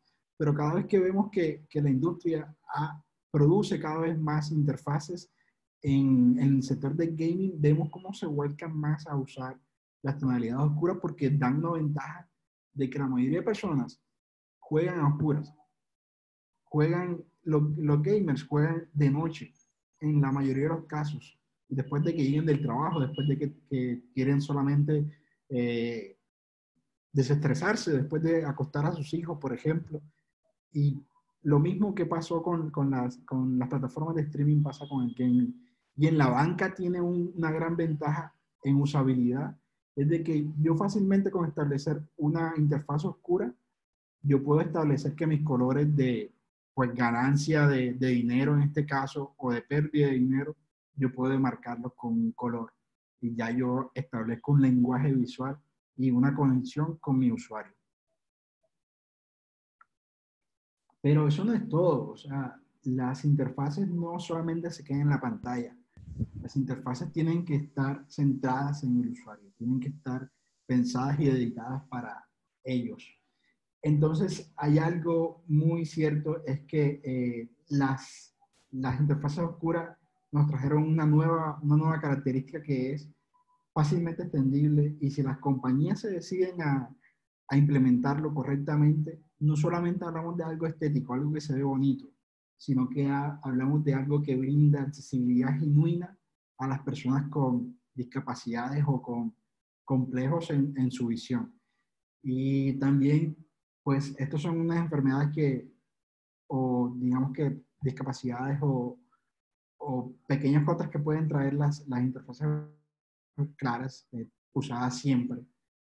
Y agregar la opción de, del dark mode no solamente es algo que nos deben vender como algo de marketing, algo de venta, sino que es algo que debe venderse como algo accesible, algo que le da un pro al usuario, una opción más, pero una opción que es su decisión. Eh, y eh, las interfaces oscuras también tienen algo, o sea, nos lo venden como que esa escaneabilidad, o sea, nos facilitan la lectura, legibilidad, alto contraste claramente, y es pensada para el dispositivo. Y también hace que la atención visual sobre el contenido sea mayor. Pero eso también pasa con las interfaces claras, o sea, pasa con ambas. Las buenas prácticas son las que hacen que las, las interfaces funcionen, ya sean oscuras o ya sean claras. Y algo que no solamente es para desmeritar las pantallas oscuras, sino que es para conocimiento y saber cuándo usarlas. En el 2003 antes del boom de toda esta tecnología, antes del acelere tecnológico que vivió la humanidad, hubo un, un estudio donde se estudiaban los diferentes tipos de pantallas que teníamos, que eran LCD, la, la, tubular esta que teníamos, las pantallas viejas de los 90 y veíamos cómo las personas, o al menos el estudio nos decía, eh, cómo estas, estas, estas pantallas estas tecnologías interferían en el diseño de productos, interferían en cómo crear interfaces ya que podían serse, podrían destruirse o potencializarse a través de la interfaz. Y en 2013, ya después de este boom, donde tenemos tecnologías más avanzadas, eh, también nos viene un estudio nos da un golpe sobre la mesa porque el problema es que el marketing nos quiso vender que el dark mode era la solución a todo y no. Es de que el light mode, por decirlo así, tiene grandes ventajas sobre la gente adulta y la gente joven la gente adulta porque no lee tantos contenidos en la pantalla, lee pequeños contenidos. Y presentarle esos pequeños contenidos en una pantalla clara es mucho más beneficioso para su, para su salud visual. Y entonces, pues el mito de, de que el Dharma es la respuesta a todo, ahí se, se desvanece. Entonces luego llegamos a un punto crítico, que es el diseño centrado y pensado por el usuario a través de la usabilidad o en pro de usabilidad en el camino que, es la construcción de productos, no tenemos, nos tenemos que preguntar cuáles son los features que nos dan valor al usuario y a nosotros mismos como diseñadores. Donde el producto no esté pensado únicamente como un ente comercial o que esté marcado en todo esto que hablaba yo del marketing que, lo rodea o cómo lo venden o cómo nos lo cuentan. Porque tenemos que crear productos centrados en el usuario en pro de ellos y que ellos tengan el poder de decisión, que resuelvan reales necesidades y creen un vínculo de marca. El mode para mí es bello, todos mis, mis devices o, mis pantallas o mis interfaces están, eh, están seleccionando el mode sobre el light eh, pero no solamente apagar un switch. Un ejemplo es de que hay ciertas aplicaciones que no me gusta tenerlas en dark porque siento que eh, el aprovechamiento que se dio de él no es el mejor y en esos casos seleccionó la otra versión. Entonces, pues para concluir es de que el dark es una preferencia estética, pero no es la respuesta, no es la respuesta a todo, porque bien usado el mode también puede responder muy bien, pero en qué momento necesitamos uno u otro. Esa es nuestra, nuestra labor o nuestra finalidad como creador de producto y de contenido. Entonces, eh, es, una, es una decisión estética, no es un cambio de vida, no es un cambio de paradigma, no es una, algo que nos vaya a mejorar la productividad, pero sí es una, una herramienta de accesibilidad que puede, usar que puede ser usada en ciertos puntos. Y creemos que el Darkboard debe ser usado como, como una herramienta de decisión al usuario. Decide tú si la quieres usar o no pero sería bueno potencializarlo no solamente brindárselo, hey, aquí está tu Dark como respuesta a una tendencia de mercado, sino este es tu Dark pero está pensado para esto, esto y esto. No solamente se ve bonito, no solamente es una respuesta a un trending de design, sino que aporta a la persona, pero también tenemos que pensar de que puede aportar a la sociedad, y más en este tiempo en que vivimos, donde hay una una crisis mundial y con el Dark o con el Light Move, en todas esas decisiones, podemos aportar a crear mejores productos y que esos mejores productos aporten a construir mejores sociedades y mejores comunidades. Y ya, esa es mi charla. Muchas gracias.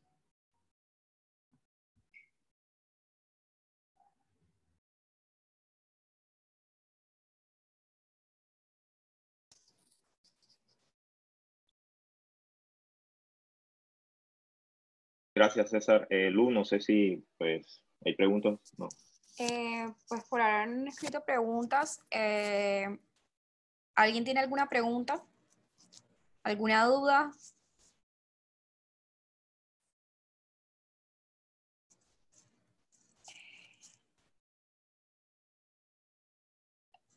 Mm, bueno, al parecer no. Igualmente, si si después les queda alguna pregunta acerca de la presentación que nos acaba de dar César, pueden escribirla y yo la tendré en cuenta para al final de las presentaciones volver a hacer una ronda de preguntas. Eh, Fabián, yo creo que podemos eh, seguir con la próxima presentación. Ok, eh, antes de continuar con, con Ricardo, este, me gustaría hacer un pequeño break virtual donde pues los invito a que, a que pongamos la... Ah, bueno, parece que hay una pregunta, no sé si la quieres leer antes de, irnos al break. Sí, claro. Eh, Carlos Insignares nos pregunta, eh, ¿hay tipografías que funcionen mejor en el dark mode? No necesariamente, solamente hay que tener en cuenta el peso de la tipografía, o sea, no usar tipografías tan finas, tan delgadas, sino que tu punto de referencia base sea una tipografía regular, no irte más, más allá de eso, o sea, más, más delgadita de eso. Pero el resto, todas pueden funcionar eh, prácticamente bien.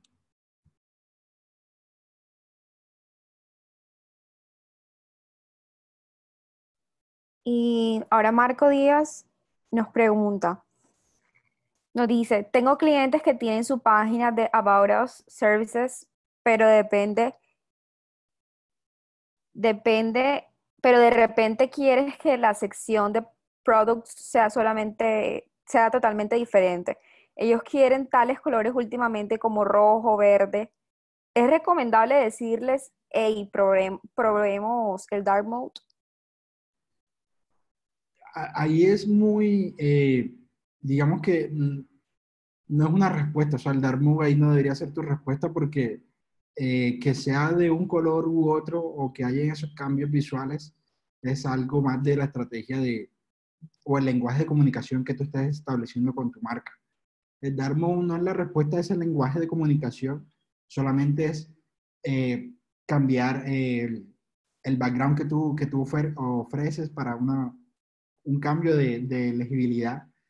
Pero si decides cambiarlo, si tu cliente está pidiendo, no, yo quiero usarlo rojo o verde, ahí te deberías preguntar es si mi marca tiene ese lenguaje visual para hacer esos cambios tan bruscos y si mi cliente está adaptado o responde a ese lenguaje visual, porque puede ser que pierdas clientes por un, un cambio tan brusco como pueden ser esas tonalidades en el fondo.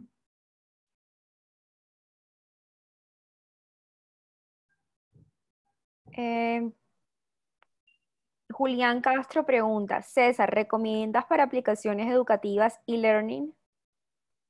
Sí, un montón, o sea, de hecho un montón, porque pregúntate a ti, eh, si tú quisieras estar estudiando, no, antes de, antes de yo acostarme, quiero dedicarme 10 minutos a, no sé, a un ciclo, a un ciclo de, tal o X contenido que esté eh, pues aprendiendo pues cuando tú estás acostado prácticamente para dormir, tienes todos tus focos prendidos y cuando entras a una aplicación que tiene toda tu interfaz clara, eso es un rechazo completo a hacer lo que tú quieres hacer eh, como usuario. O sea, la aplicación me está diciendo, hey, no lo hagas por subconsciente, porque es un rechazo muy grande el que mis ojos reciben ante la aplicación.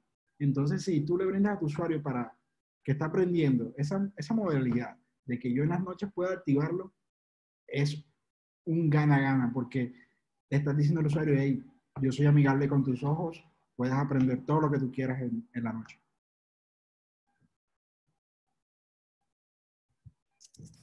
Um, Jonathan Kakais dice, eh, ¿existe algún tipo de herramienta que detecte el móvil que tenga, que tenga algún dark mode activado? Muchos usamos un dark mode en nuestros celulares. ¿Existirá alguna herramienta que podamos tener en nuestra web para detectar esto? No entiendo, o sea, no entiendo. Eh, yo te ayudo, César. Sí, en, en, la web pues tienes varias opciones como JavaScript, puedes detectar el dark mode encendido del sistema operativo y puedes aplicar los estilos dependiendo a, a, esa, a, ese momento de pues, que quieras activarlo, ya sea manual o, automáticamente.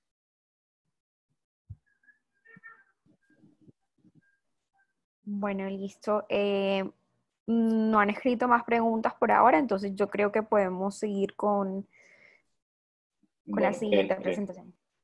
Eh, bueno, como les decía antes de continuar, me gustaría que hiciéramos un pequeño break y nos conociéramos un poco, pues me gustaría que pusieran la cámara para ver si nos tomamos un screenshot y lo, lo, colgamos allá en, la, en Meetup.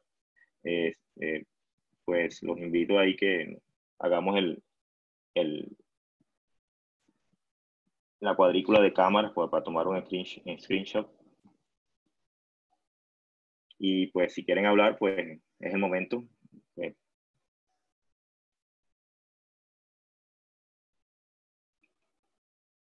Vamos, vamos, si pueden, pues muestren la cámara. Mayo, Mayo está en la playa, ojalá Mayo, qué bien.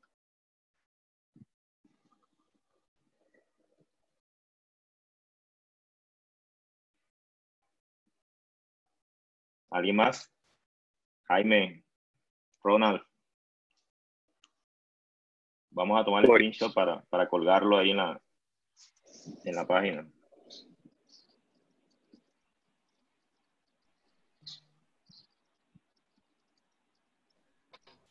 Fabio estaba en cuarentenado por allá en Venecia. Ya, es que un lado está cerquita. Hey, eh, eh, gracias a todos. Eh, un placer ahí. mi nombre es Fabián Altauna para los que no me conocen. No sé si quieren tener la oportunidad. Estamos un pequeño break para, pues, para conocernos, para, para invitarnos a nuestras próximas reuniones virtuales. también para comentarles que pues Luisa les va a estar contando ahí por el chat de que tenemos otra, otra eh, otras eh, redes sociales que nos pueden eh, ayudar a que ustedes pues tengan más eventos como este en, otros lenguajes. Pues este, este como tal es centrado en WordPress. además, pues no me, no me centro completamente o me cierro a WordPress, sino que pues miramos un abanico de posibilidades en cuanto a temas de diseño, accesibilidad, buenas prácticas y un montón de, temas que, que, pues enriquecen mucho más a, la diversidad de, de, personas que, que, se conectan con nosotros. Entonces no, no, por eso no hago solamente charlas de desarrollo, porque sé que muchas personas no son desarrolladores y pues trato de siempre equilibrar los temas para que pues todos estén contentos y se vayan con, con, con algo aprendido. Dale, Lu. Eh, bueno, aprovechando este break, eh, hola a todos, soy Luisa Linero, eh, me encargo de las redes sociales en Cumbia y quería invitarlos a todos a unirse. Estamos, tenemos un nuevo, un nuevo canal por donde vamos a estar publicando todas estas presentaciones, todos estos meetups y todas estas eventos que, eventos eventos que tengamos eh, próximamente y pues por cuestión de, de, las cosas que están pasando ahora mismo, del COVID, vamos a estar haciéndolo virtualmente.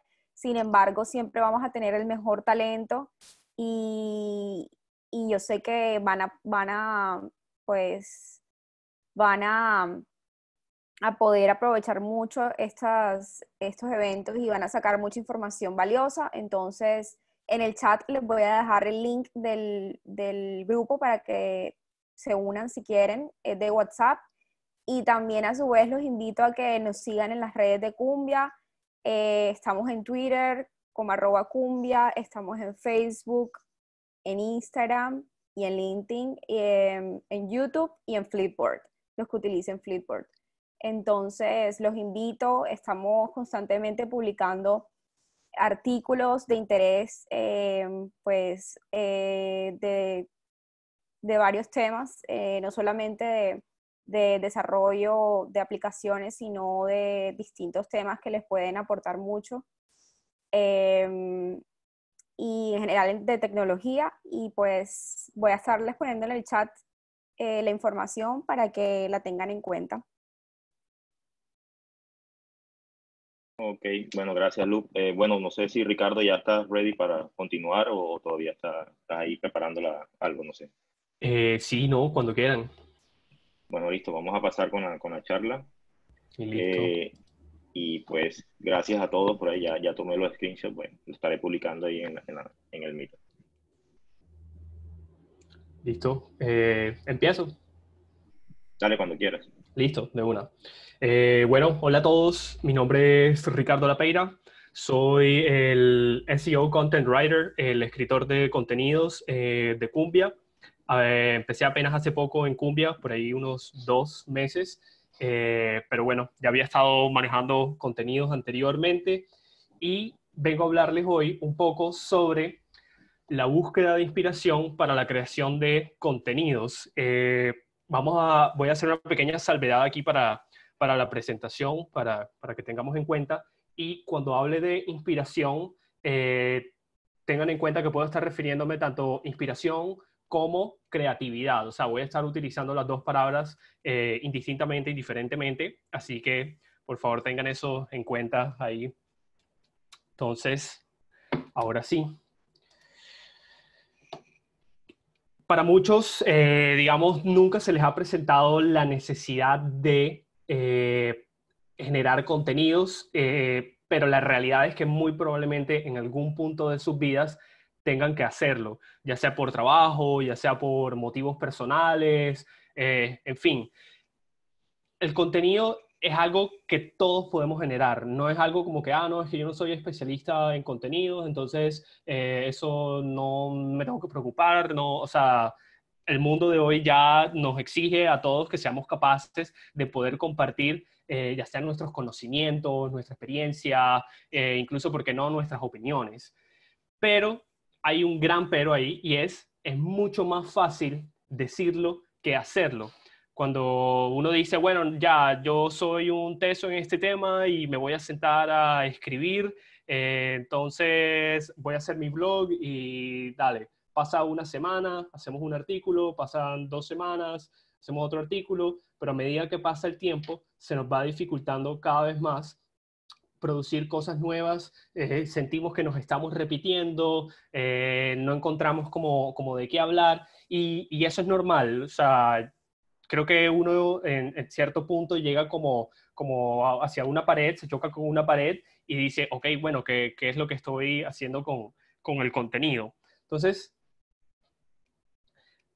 para tener en cuenta, o sea, no se asusten si eso les llega a pasar en algún momento. Eh, vamos a ver ahora más adelante por qué ocurre eso y cuáles son algunas de las técnicas que yo personalmente utilizo y recomiendo para eh, cuando tengamos que generar contenidos.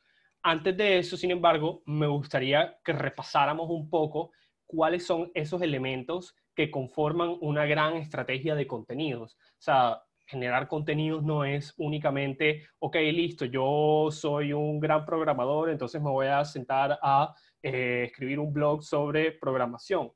Pues, en teoría uno podría hacer eso, pero no vas a obtener los mejores resultados. Entonces, ¿cuáles son los elementos o los factores que te garantizan que tu estrategia de contenido sea un poco más, más robusta, más sólida?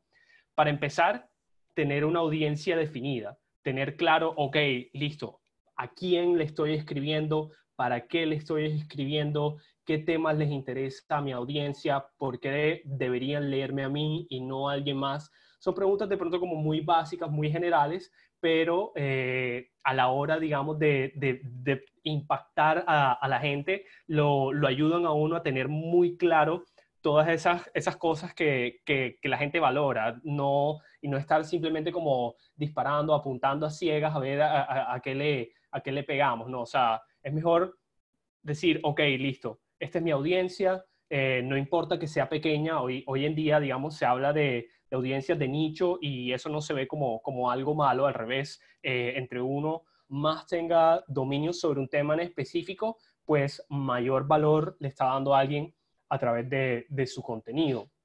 El segundo punto es eh, balancear lo emocional y lo racional. A veces uno cae en el error de creer que eh, en la medida en que yo escriba de manera muy lógica, muy racional, con unos argumentos muy sólidos, mostrando cifras y datos y toda esa serie de, digamos, de, cosas así eh, analítico-lógicas, eh, vamos a capturar a nuestra audiencia. Y sí, hasta cierto punto así ocurre, pero eh, hay un componente adicional y, es el componente emocional que también nos ayuda a eh, conectar con las personas, con nuestros lectores, con nuestra audiencia a un nivel mucho más profundo. Entonces, ¿qué, ¿cuál es más importante? ¿Cuál es más importante que si el uno, que si el otro? Pues la realidad es que hay que balancearlos. Eh, de pronto, eh, en algún momento nos iremos más por lo racional, en otro momento nos iremos más por lo emocional, pero en general de eso se trata, poder conectar con la gente a un nivel emocional, pero a la vez que la racionalidad nos permita decir, ok, bueno, este tipo está diciendo algo que, que tiene sentido, pues no está diciendo cualquier barbaridad. Entonces, eso importante tenerlo en cuenta.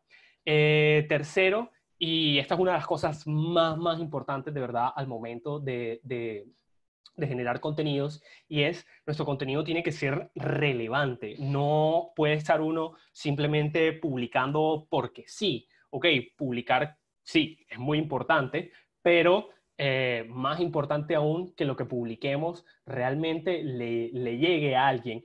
¿Y cómo logramos eso?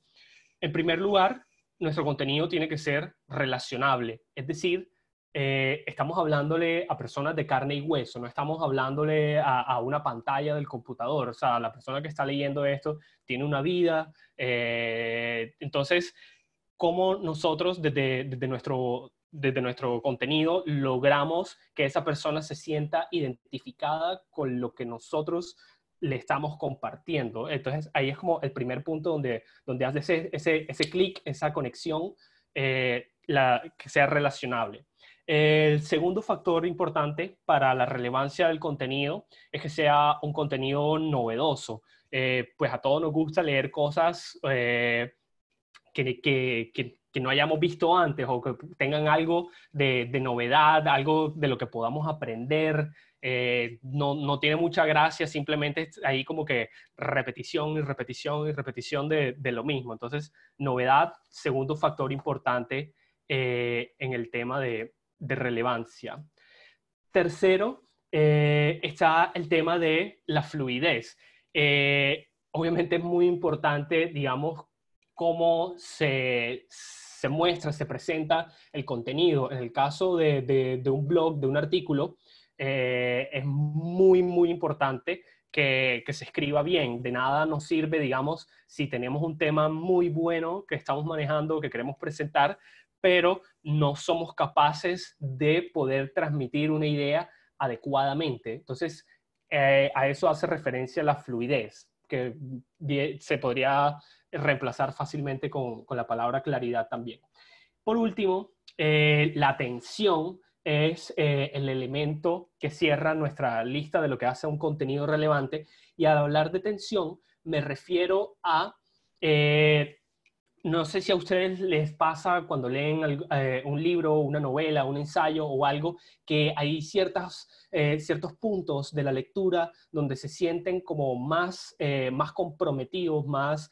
¿Cuál es la palabra? Más engaged, sí, con, con, con el texto a eso me refiero yo con, tensión. ¿Cuáles son como esos nudos de los que nosotros esperamos como un, desenlace? Si esos nudos no los encontramos en, el contenido, pues no estamos haciendo nada, porque eso es como que lo que llama la, atención. Entonces, con eso cerramos, digamos, los cuatro elementos claves de eh, un contenido relevante. Y por último, ya el cuarto elemento de, que compone una, estrategia de contenidos es eh, la constancia.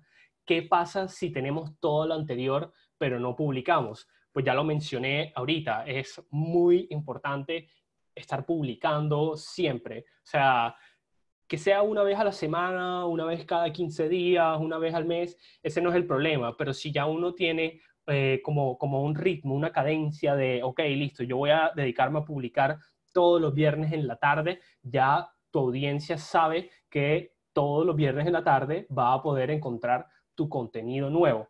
¿Y por qué resaltamos aquí constancia? Porque en teoría es muy fácil definir la audiencia, eh, balancear lo emocional y lo racional, eh, hacer contenido relevante, pero en lo práctico, o por lo menos eso me, parece a mí, eh, uno no siempre logra sacar el tiempo para publicar. Entonces, ahí es donde uno dice, ok, listo, tengo todo lo demás, pero me quedé en nada porque no he sido capaz de publicar. Entonces, muy importante eh, esa parte. ¿Cuál es el problema? Que la inspiración a veces se nos acaba a veces pensamos, digamos, que, que, no, yo sé mucho sobre este tema, entonces voy a poder hablar de lo que sea porque yo soy el que más sabe. Pero, como ya mencionábamos ahorita, eh, la inspiración eh, va cayendo con el tiempo. ¿Qué ocurre? Eh, empezamos con muchas ideas, pero se nos van acabando, de vez en cuando logramos encontrar nueva inspiración aquí o ya, pero nuevamente pasa el tiempo y se nos vuelve a acabar la inspiración y resulta que al final terminamos desistiendo porque decimos como que no, yo como que definitivamente eh, no, no lo logré, no, no me inspiré y terminamos dejando ahí nuestro, nuestro proyecto de contenido. Entonces, algunas excusas que solemos decirnos cuando esto pasa es, ok, eh, tengo un buen proyecto, pero es que necesito contratar a alguien para que me ayude. Eh, pero eso no necesariamente es la mejor solución o no siempre se puede porque no hay presupuesto o porque no encontramos a, la persona o porque es un proyecto pequeño. En fin, no, no es como una, una solución realista. Eh, segunda excusa que nos decimos, no, yo como que definitivamente no necesito más contenido, pero esto es eh, absolutamente falso. Todo el mundo siempre necesita más contenido, especialmente si lo que queremos es eh, que nos vean. De, o sea, no tener contenido nuevo y no estar publicando constantemente es lo mismo que ser un NN eh, en el Internet. Y por último, no soy creativo. y esta es tal vez una de las falsedades más grandes que nos decimos, y es eh, creer que, ah, no, es que yo definitivamente como que no soy creativo, eso es solamente para la gente eh, de diseño, para los artistas, yo soy un ingeniero, yo lo mío es los números, yo programo, yo no tengo por qué ser creativo y eso es eh, totalmente falso porque todo el mundo en el fondo es creativo. Entonces, hay unas falsas creencias sobre la inspiración y es que llega sola, eh, que no se puede influenciar, es decir, que esto es algo como casi que innato. No, mira, él es una persona súper creativa, él se inspira súper fácil. Eh, eh, también nos decimos, o sea, otra falsa creencia es, solo le llega a las personas creativas, se requiere ser un experto en un tema para, para poder inspirarse. en fin, hay, hay, hay, como un montón de, de, de falsas premisas que tenemos en cuanto a cómo funciona la inspiración pero cuando uno se pone a verlas, eh, analizarlas, realmente te das cuenta que eh, la inspiración no es algo que llegue sola, hay que salir a buscarla. Afortunadamente hoy en día tenemos herramientas como, como el Internet que nos permiten poder salir a buscarla sin movernos eh, de la comodidad de nuestras casas. Anteriormente eso pues no era posible, así que es un gran beneficio que tenemos Hoy en día eh, la inspiración se puede hackear. Vamos a ver un poco más de, eso en, las siguientes slides. Eh, el creativo se hace, no nace, ya lo, mencionaba ahorita, no es eh, que simplemente una persona es creativa porque nació así ya, ok, sí, puede que sea verdad que algunas personas tienen como alguna predisposición para las cosas creativas más que otras, pero como, como lo, lo, puso Thomas Edison, que, que, ustedes sabrán fue uno de los más grandes inventores que, que la humanidad ha dado. Eh, una invención es 1% de inspiración y 99% de perspiración. ¿Qué quiere decir eso? Que la creatividad, la inspiración, sí, es un componente importante sin el cual no podríamos hacer muchas cosas, pero realmente de lo que se trata es de trabajarlo, de sudarlo. O sea, si no nos estamos esforzando, pues simplemente no, no estamos haciendo nada. No podemos eh, como quedarnos sentados esperando a que de pronto se nos prenda el bombillo y digamos como que, ok, ya, listo, encontré la solución al problema. Pues desafortunadamente eso no funciona así. Eh, y por último, eh, otra, otra realidad importante sobre la inspiración es los generalistas también se inspiran. Todo el mundo habla siempre de, no, el especialista, el especialista, el especialista. Y claro, ser un especialista es maravilloso. O sea, yo no quisiera que me atendiera eh, un doctor que no sea especialista en, digamos, el, eh, en lo que necesito que, que me ayuden, pero hay un beneficio muy grande también eh, en ser un generalista y es la posibilidad de moverse entre distintas disciplinas, entre distintas ramas del conocimiento. Eso también es algo eh, que está subvalorado de pronto eh, hoy en día, entonces para que lo tengan en cuenta. Y si se les olvida absolutamente todo lo que he dicho hasta ahora. Hay unas cosas que deberían llevarse de esta presentación, así que pongan atención a esto, y es la inspiración nos llega cuando podemos conectar los puntos. Eh, sí, un poco cliché aquí usar eh, Steve Jobs acá, pero bueno, afortunado, ojalá y, con eso no se les olvide a nadie el famoso discurso de Steve Jobs eh, a los graduandos de Harvard donde decía, ok, listo, vamos a connect the dots, vamos a conectar los puntos. Y de eso es en últimas de lo que se trata la inspiración. No es quedarse sentado esperando que llegue, sino salir a buscarla y decir, ok, mira, tenemos esto acá, tenemos esto otro acá, ¿cómo lo conectamos? ¿Cuál es esa línea que une esos puntos? Y ahí empezamos a ver que ya la noción de inspiración, de creatividad, va cobrando como una dimensión distinta. ¿Cuál es la solución que propongo entonces para eh, afrontar los, bloqueos creativos o cuando nos quedamos sin inspiración? Abordar el problema desde otra perspectiva. ¿Y a qué me refiero con eso? No lo veamos como en la gráfica que, teníamos inicialmente, donde la inspiración simplemente va bajando, bajando, bajando con, con el paso del tiempo, sino veámoslos como, como un problema sistémico, la interacción de las cosas, conectar los puntos. ¿Qué quiere decir eso? No hay que esperar a que la inspiración nos llegue. Afortunadamente podemos diseñar mejores sistemas y con sistemas me refiero, ok, ¿cómo es mi proceso creativo? Y eso es algo que pues es muy personal para cada quien y no hay como una fórmula de, ok, listo, esto es lo que uno tiene que hacer para ser creativo y poder generar contenidos. No, o sea, ojalá, digamos, pudiera haber una ecuación que le diga a uno eso, pero, pero la creatividad no funciona así. Y, y, lo que busco un poco es que, que entiendan que si ustedes logran crear unas ciertas rutinas o, o, hackear el sistema dentro de sus vidas diarias, pueden encontrar esos espacios donde se permitan ser creativos. Hay que salir a buscar la inspiración, crear nuestros propios sistemas algunas ideas o técnicas eh, que personalmente a mí me, funcionan bastante para, inspirarme, para crear. como les dije, no necesariamente para todo el mundo tienen que ser las mismas. Eh, para un programador de pronto habrán algunas técnicas que funcionen que, para un diseñador no. Eh, pero bueno, cada quien sabrá qué le sirve. La primera es empezar no se queden en el voy a hacer, voy a hacer, voy a hacer, porque fácilmente van a pasar meses y no han empezado. Entonces, primer consejo, no dejarse ganar por la pasividad. Sean proactivos, no esperen a que las cosas les lleguen. Así no tengan claridad sobre lo que vayan a escribir o el contenido que vayan a generar. Lo más importante es que empiecen, que lo hagan.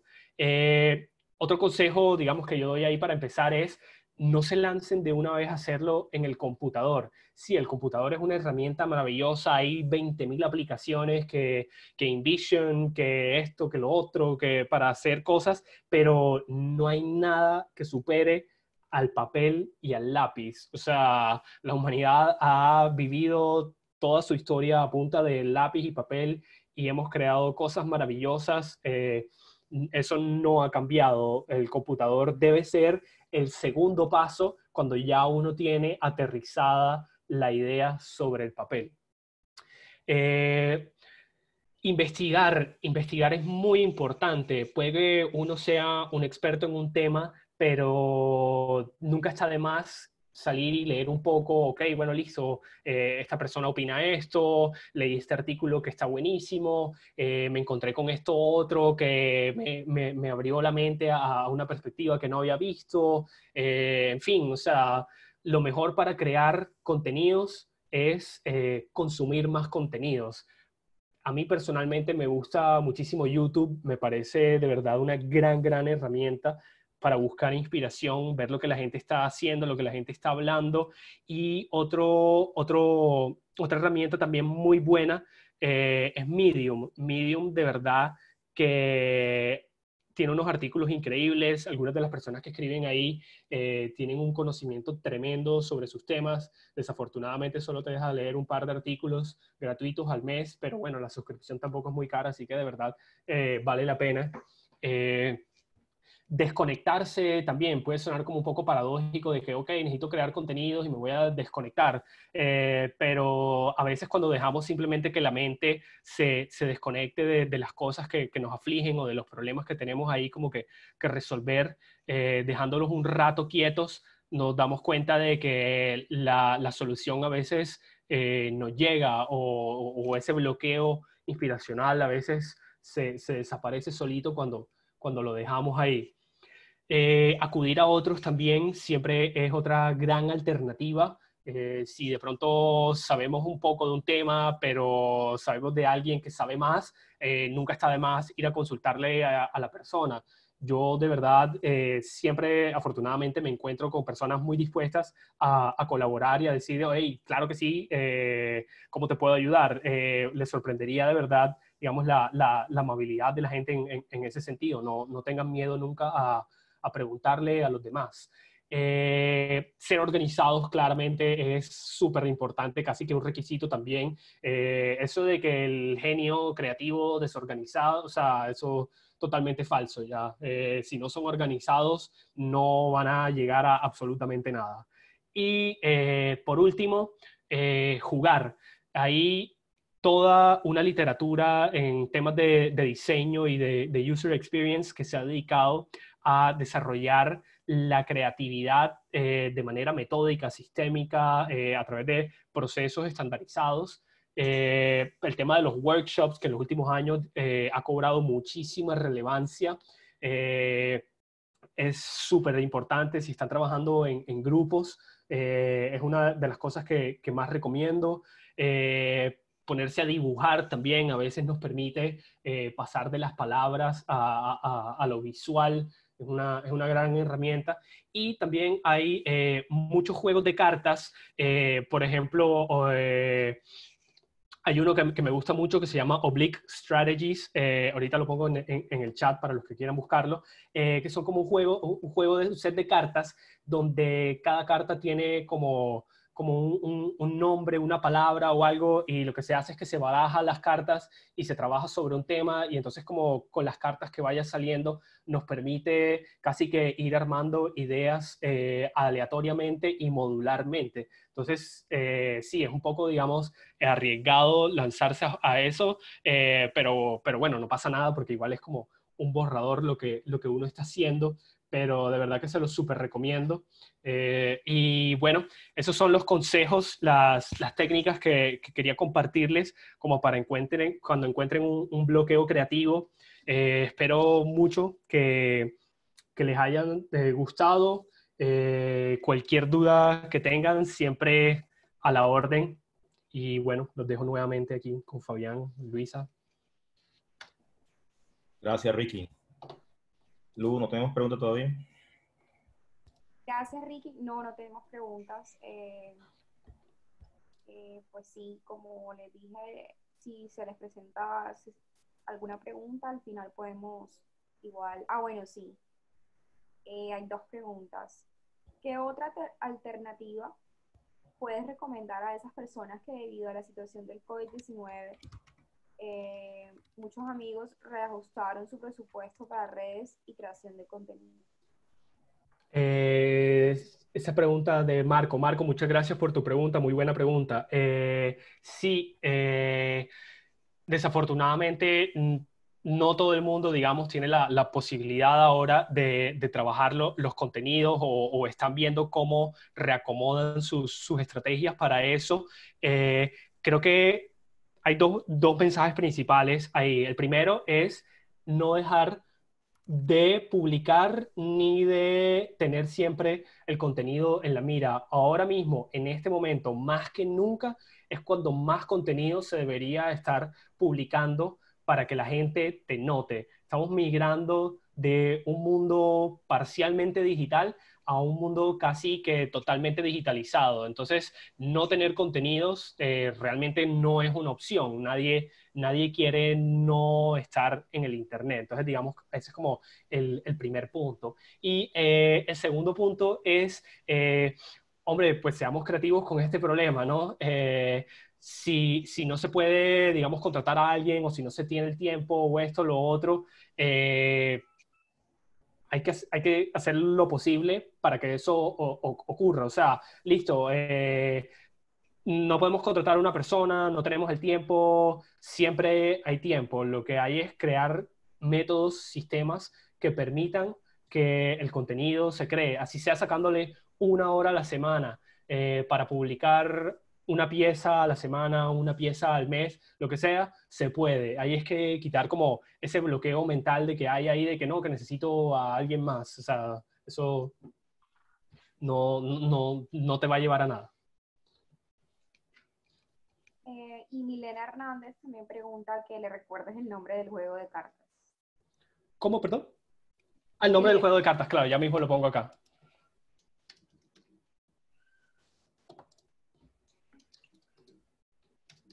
No me está dejando escribir.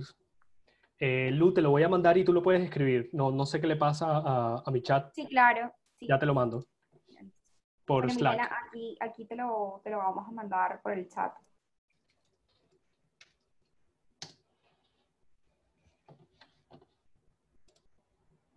Una otra pregunta, aprovechen, que está Ricky ahí esperando.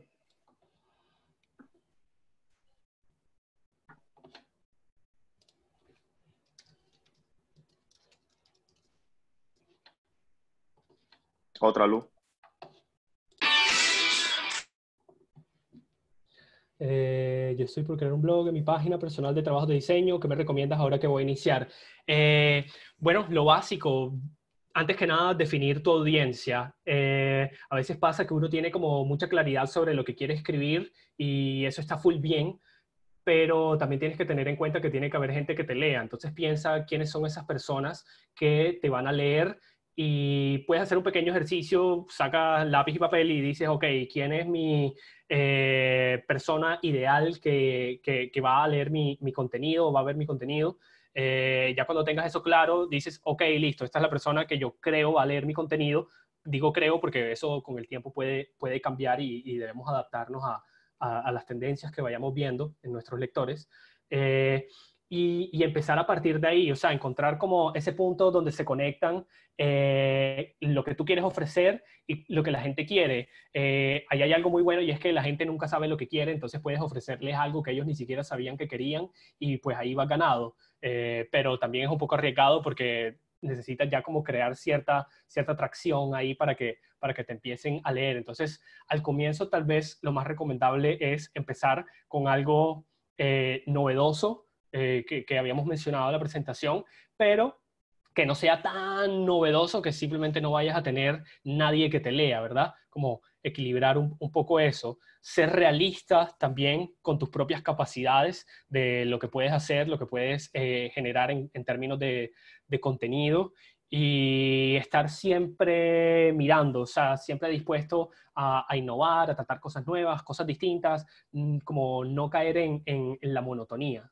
Yo creo que esas serían como, como las recomendaciones que, te podría dar, Carlos. Mm, bueno, ah, bueno, te pregunto otra vez, Carlos, algo que ¿qué piensas que es mejor colocar en los titulares. Eh, bueno, ese es un eterno debate siempre. Eh, pues un titular es importantísimo, ¿no? Porque es como lo primero que la persona lee. Eh, y sí, un, titular tiene que ser llamativo y, si tu pregunta se va más por el lado como de, SEO y, de cómo logramos que los buscadores lo, indexen y eso, eh, pues hay un montón de, contenido que puedes encontrar eh, en, la web y, que te puede ayudar seguramente para eso. Mi recomendación personal es eh, haz algo que a ti te gustaría. Si a ti te gusta, probablemente a otras personas también. Pero, y esto es un gran, gran pero, no caigas en el error de hacer algo genérico. Yo creo que el peor error que uno puede hacer en términos de, contenido es hacer cosas genéricas. Eh, o sea, nadie quiere ser genérico, todo el mundo quiere pertenecer como a algo exclusivo y único. Entonces, evitar lo genérico. Y Povea también dice, em, ¿hay alguna herramienta que me permita identificar la audiencia de un sector en particular? Eh, pues realmente no las conozco. Eh, si entiendo bien la pregunta, no creo que no, no, conozco algunas herramientas así. Eh, pues están herramientas de analítica de datos, que es tal vez lo más cercano, creo, que a, a tu pregunta.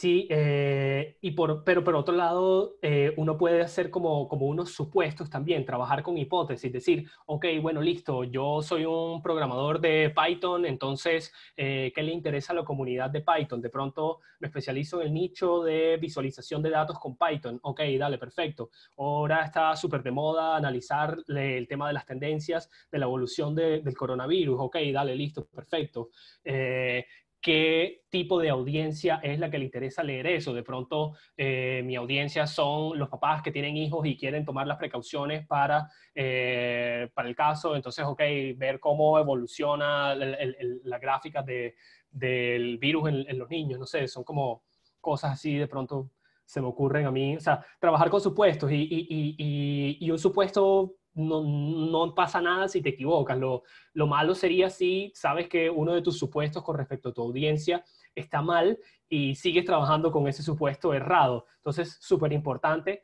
tener muy claro cuáles son nuestros, eh, nuestras premisas, nuestras hipótesis sobre nuestra audiencia, tenerlas muy claras y estar siempre eh, mirando a ver qué es cierto, qué se mantiene, qué está cambiando. Siempre eso muy importante.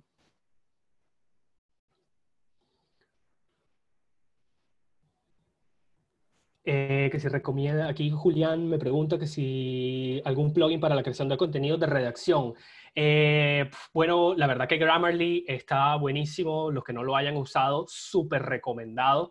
Eh, bueno, yo realmente solo lo he usado para inglés, no sé si para español también se puede utilizar, creería que sí, pero de verdad que es una gran, gran herramienta y eh, si no lo quieren pagar, si no quieren usar Grammarly no les gusta, de verdad que la segunda mejor herramienta disponible para crear contenidos es Microsoft Word. Yo creo que tiene el mejor corrector ortográfico que yo he visto en mi vida. Y gramático. Eh, mm, yo creo que no hay más preguntas, Jeffrey. Eh, pues excelente presentación y que por favor no, eh, que si les puedes compartir algunos artículos que hayas escrito. Eh, eh, sí, pues les puedo, o sea, lean el blog de Cumbia, ahí encontrarán algunas cosas que, que yo he escrito.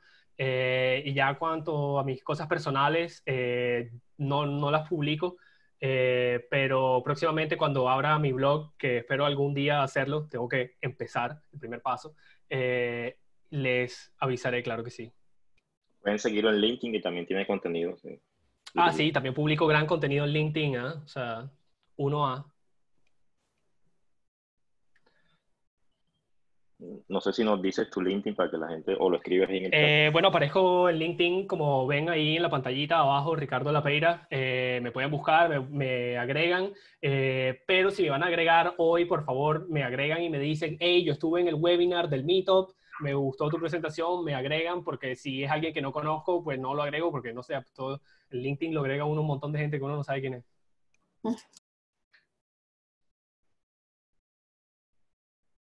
Ok, bueno, Ricky, muchas gracias. Yo pienso que, pues... No, a ti, Fabián, por la invitación. Excelente presentación. Este, muchas gracias. Bueno, este, continuamos. Eh, ahora, pues, el turno es para Ronald Martínez. Pues, ya es una charla más enfocada a WordPress y el Performance Web. Eh, no sé si Ronald estás por ahí, ¿estás listo? Sí, señor. Ok, cuando quieras, pues nos comparte la pantalla y adelante. Gracias. Bueno, buenas tardes a todos. Mi charla es sobre cómo mejorar el performance de tu WordPress. Pues de mi parte les puedo decir que mi nombre es Ronald Martínez. Trabajo, espérenme que me pase.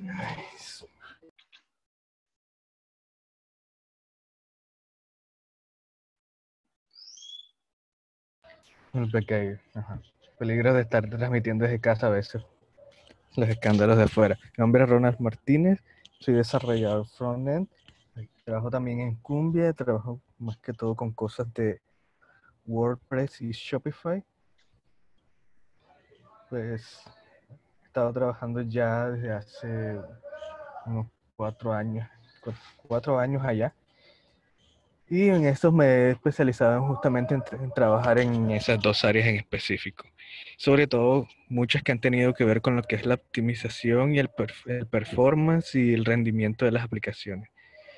Bueno, empezando aquí con, ya con la charla, la gran pregunta es cómo se optimiza. Bueno, en primer lugar, antes de que vayan, antes de que alguno piense eso, no, no existe una herramienta mágica para hacer la optimización.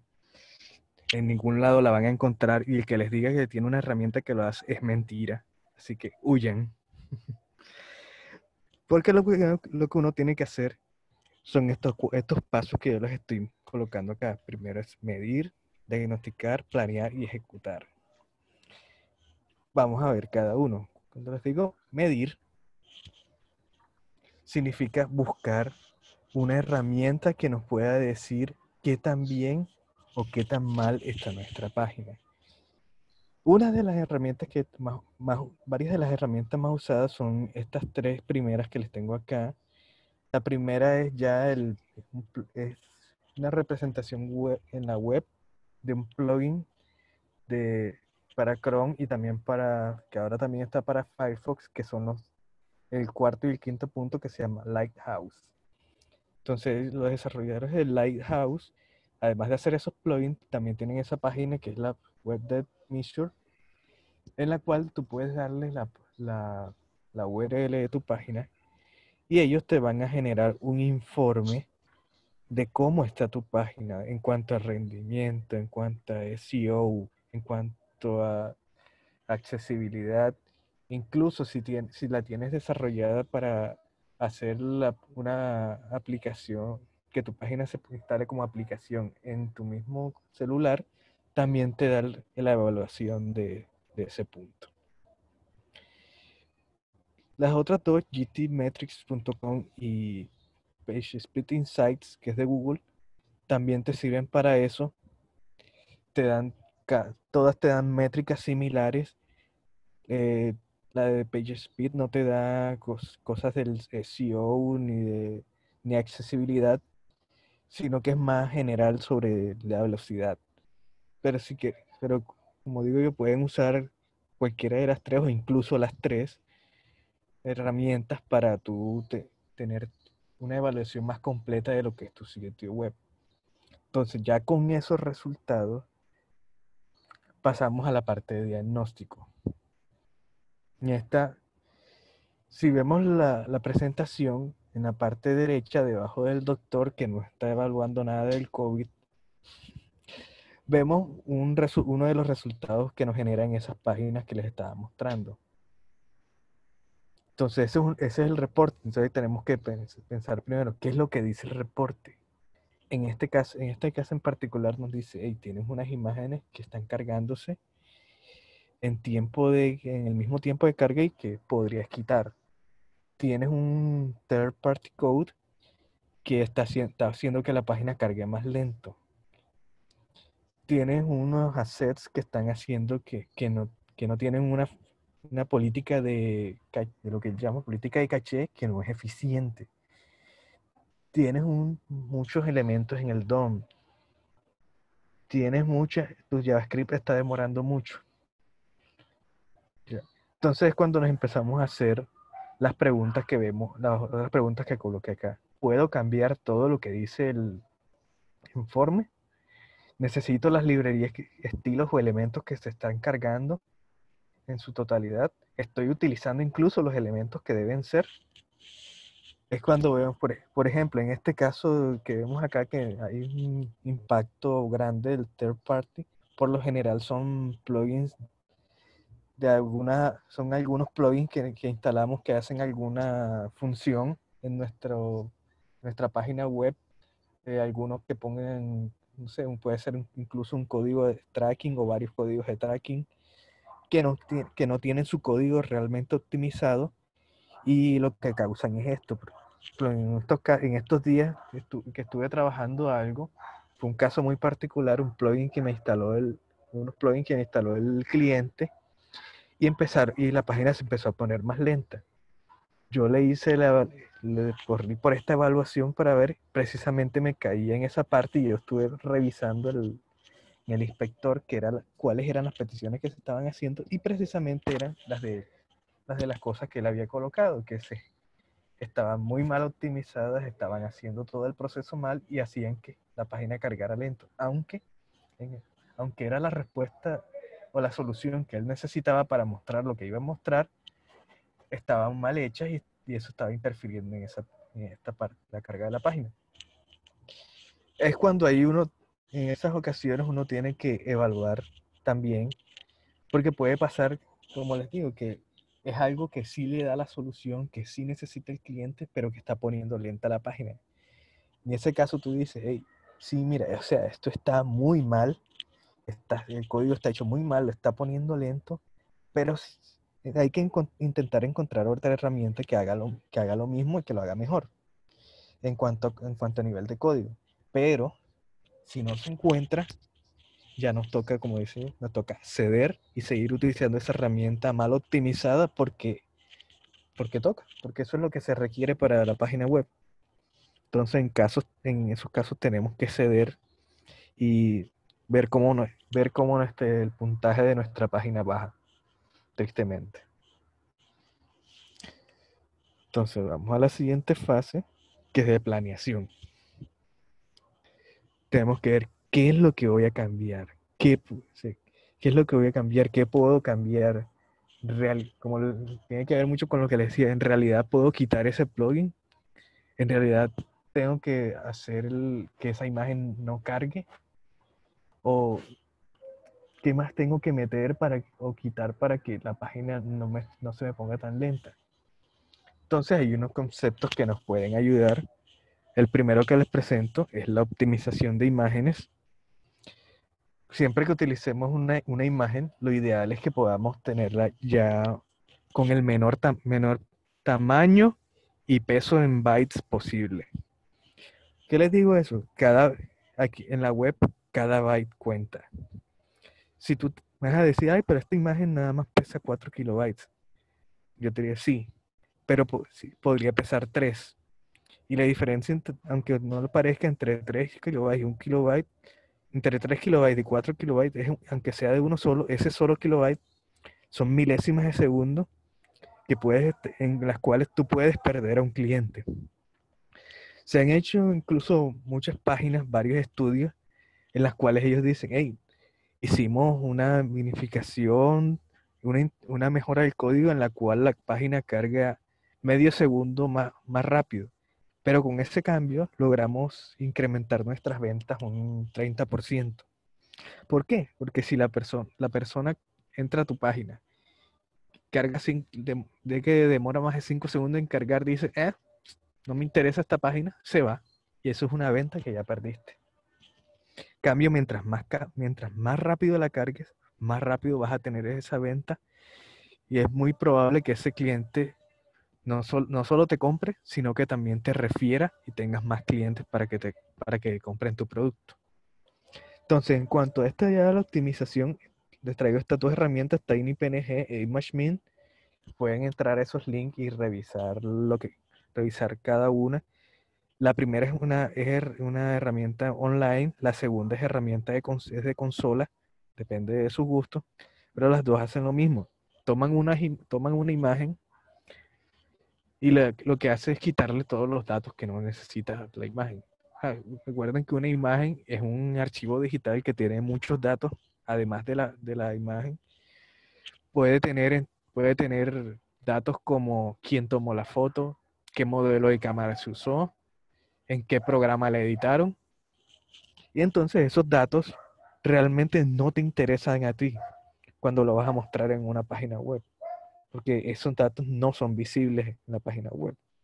No te interesa. Entonces, eh, lo que hacen estos optimizadores es coger ese tipo de datos, eliminarlo de los archivos de la imagen y darte la misma imagen con la, con la misma calidad y sin esas cosas. Tan, pero, aunque también las puedes configurar para que le bajen un poquito la calidad a la imagen, pero normalmente se configuran para que sea un, un 80 90% de la calidad original y no se nota la diferencia. Otra táctica que puedes usar, como la digo ahí, es reemplazar los GIFs por los videos. A veces sí, tenemos un, tenemos un podemos tener una animación GIF muy bonita que pese 500 kilobytes, pero si la transformamos, por ejemplo, un video MP4 puede pesar 100 kilobytes. Entonces, 300 kilobytes que nos estamos ahorrando, 300 kilobytes menos que va a cargar la página y en los cuales va a, va a mostrarse mucho más rápido. La otra técnica con la imagen es lo que se llama el lazy load. Lazy load es la, es la técnica que, se, que consiste en mostrar un recurso solamente cuando hayas alcanzado ese punto de la página. O sea, por decir, no tiene sentido cargar una imagen de una foto que está en el fondo de la página si yo estoy en el si yo estoy en la parte de arriba de la página todavía. Entonces, esa es la idea de, este concepto. Recientemente, entre los últimos desarrollos que se han hecho, sobre todo de Chrome, ya él está incluyendo una propiedad que se llama loading, que tiene tres valores. Eager, esperando, no adelante. Eager, original y lazy. Para ayudarte a ti con eso sin que tengas que utilizar un plugin de tercero o, desarrollar una, una solución para hacer este lazy load. Ya va a ser nativo del navegador tengo entendido que ya también Firefox está empezando el desarrollo de esa parte para, para incluirlo de forma nativa en su navegador. En el core de WordPress también. Sí, también. Sí, sí, en el core de WordPress también se está, metiendo que cuando tú coloques una imagen le está colocando el atributo. todo, aunque como, aunque como digo, todos no, no, lo están soportando, el único que lo tiene soportado es el Chrome 82 en adelante. Ya al menos estén adelantado algo para que lo empiecen a usar de, cuando los navegadores, todos los navegadores lo implementen. La otra técnica es utilizar, un, utilizar las imágenes responsive, como así. Recuerda, si el que algunos lo sabrán, otros no, existe en HTML un elemento que se llama picture. Con picture uno puede establecerle diversas fuentes dependiendo del ancho o alto de pantalla, lo que uno prefiera. Y con eso, digamos que sabemos que para que si estamos en, digamos, en un celular podemos decir que cargue una imagen de 350 por, por 400 píxeles pero si estamos en, el computador, cargue una de 1200 por 800. Así nos ahorramos tener que estar cargando una imagen con más bytes de los que realmente se necesitan. Y a eso va también el siguiente punto, una imagen con tamaño mínimo. Si por ejemplo en nuestra página tenemos, tenemos una, una galería de, de artículos cada foto del artículo es de 350 por 350. O sea, lo que dice, lo que dice esta teoría es, pues, crear, tu, busca la foto de tu artículo que sea de 350 por 350, no metas una más grande. ¿Por qué? Justamente por lo mismo que le venía diciendo. Si meto una de 400 por 400, tengo esos, esos 50 píxeles de ancho y de alta extra que no voy a utilizar. Y eso también me, me consume bytes. Y recuerden, tras más bytes tenga la, tenga la página o la imagen, más va a demorar en cargar. Y otra técnica que es la de precargar, hacer un precargado de las imágenes. Este concepto eh, se utiliza una, una, etiqueta que se llama link, que, que muchas veces las utilizamos para cargar recursos como las hojas de estilo, pero también le podemos decir que su estilo, que su uso no sea como, como hoja de estilo, sino como preload. O sea, colocamos igual como si fuésemos a colocar una estilo, link, link pero en vez del rel style sheet le colocamos rel preload. Eso le indica al navegador que antes de empezar a cargar la página, justo cuando haga la petición, se busque descargar esos elementos en paralelo. ¿Con qué, con qué intención? Con que la intención de que cuando vaya a pintar la página, ya él se haya descargado ese recurso y sea más rápido para mostrarlo. Y ahí nos, podemos ahorrar unas milésimas. Y de milésima en milésima llegamos, podemos llegar a segundos. eso en cuanto al plan de las imágenes. Tenemos también la, la parte de planeación de JavaScript. Podemos, una de las técnicas, como, le, como mencionaba en, una presentación anterior, Yesid, es minificar el JavaScript. Aunque no, es como lo mismo que les vengo diciendo, aunque no sea mucho, el ahorro de hasta, de hasta un, kilobyte puede significar varios, varias milésimas de segundo que, en las cuales tu página va a cargar mucho más rápido. Entonces siempre hay que tener, buscar esta, la forma de tener el código lo más limpio posible para que te cargue lo más rápido posible. La otra es incluir el sol, JavaScript necesario, una técnica que también les mostró Yesid con el Webpack, que él lo cargaba un archivo por página. Tenemos también lo que es el defer y el async, que son dos parámetros que se le puede poner a la etiqueta de script. Con defer, el se espera a que la página termine de cargar por completo antes de ejecutar ese, ese código, esa etiqueta JavaScript. Y async quiere decir que él va a ejecutar esa, ese código JavaScript tan pronto como él esté disponible, haya o no haya cargado la página. Cada uno tiene su uso, depende de qué, de qué es lo que vayas a hacer con tu script. Por lo general uno utiliza un defer para no retrasar la carga de la página puedes utilizar async si es que quieres cargar un, por ejemplo, un script de, tracking. Entonces, no, no, para que no esperes a que la página cargue, sino ya, ya está, ya en el mismo momento que esté disponible empieza a traquear, puedes utilizar async. La otra es dividir en varios archivos. Si ves que, si ves que tu archivo de JavaScript es muy pesado, o si hay cosas que no vas a utilizar inmediatamente, puedes, puedes dividirlo en otro archivo y hacerle un differ a ese archivo.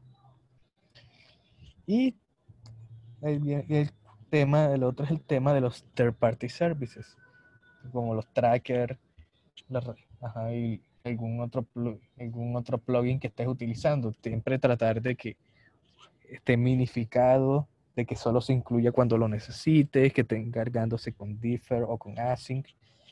Pero como les mencionaba en un punto anterior, no siempre eso es posible y nos toca, como, digo, como dije yo, bajar la cabeza y, utilizarlo así porque aunque estén mal hechos. Cuanto al CSS, similar. Siempre tratemos de tenerlo minificado, al igual que el JavaScript, incluirlo solo cuando sea necesario incluir, hay una, hay una teoría que se llama el CSS crítico. Ahí les dejo una página que pueden, en la cual pueden entrar para generar el CSS crítico de, una, de cualquier sitio web. Entonces la teoría de este CSS crítico es que ese es el mínimo que se requiere para cargar la parte que va a ser visible al usuario en la primera carga. O sea, tú cuando entras a la página, digamos que tiene un banner y tiene un menú, entonces lo mínimo de CSS que deberías tener es el, CSS que hace que se vea bien el banner y que sea, y sea vea bien la navegación.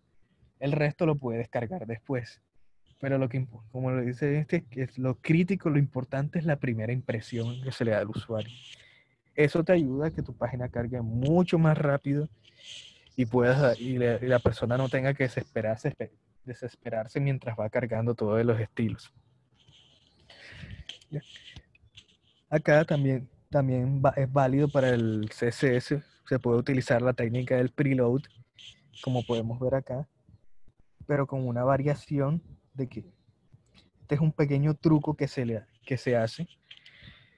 Se le pueden precargar el estilo y cuando termine de cargar la página le decimos que el rel, de, el rel no va a ser preload, sino style sheet para indicarle, hey, mira, que hay un, estilo y entonces en ese momento que termina la carga, el navegador empieza a descargarse ese estilo que, que no es crítico.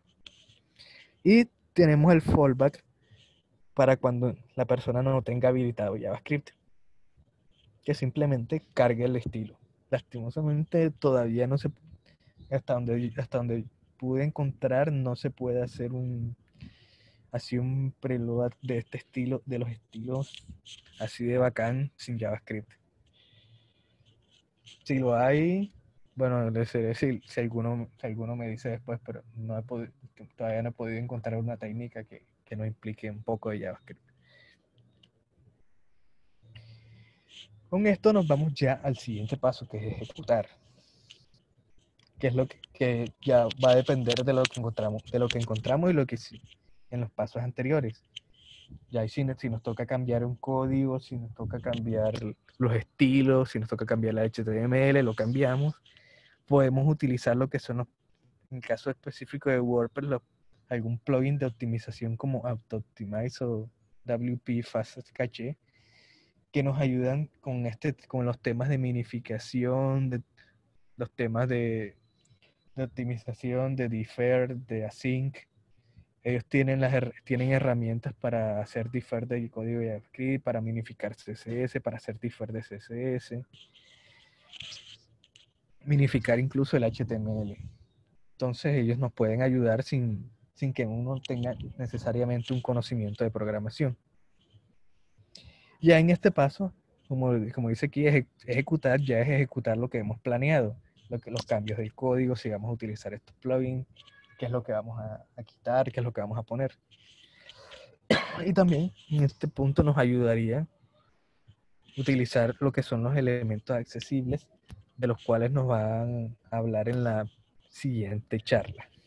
Así que solo lo dejo ahí para, como referencia para, para que crearles un poco de expectativa. acá les dejo un poco de documentación de varios artículos de la que colaboró la, hecho por la gente de Lighthouse, que es para, para hacer todo este tema de la optimización, cómo hacerlo, qué tener en cuenta, algunos tips. Y ahí está también el enlace del, de un generador de, de CSS crítico. Hay muchos, hay muchos disponibles en, en línea. Otros incluso también hay para, para línea de comandos. Si prefieres hacerlo por línea de comandos, pueden buscar todos los que y utilizar el que más les convenga o más les guste. No tiene que ser este. Y quieren buscar también un poco más sobre este WebDev, no, no es el único que hace este tipo de artículos sobre, sobre optimización web. Hay muchas empresas que también hacen estos artículos y los tienen disponibles para el público para que tú como puedas empezar en este tema y, e ir optimizando tus páginas web. Bueno, eso fue todo. Muchas gracias por haber escuchado. Gracias, Ronald. Excelente presentación. Gracias, Ronald. Em, el que tenga preguntas puede anotarlas en el chat para que Ronald eh, las resuelva. Si tienen alguna, este es el momento. Sí, después yo no, después yo no sé nada.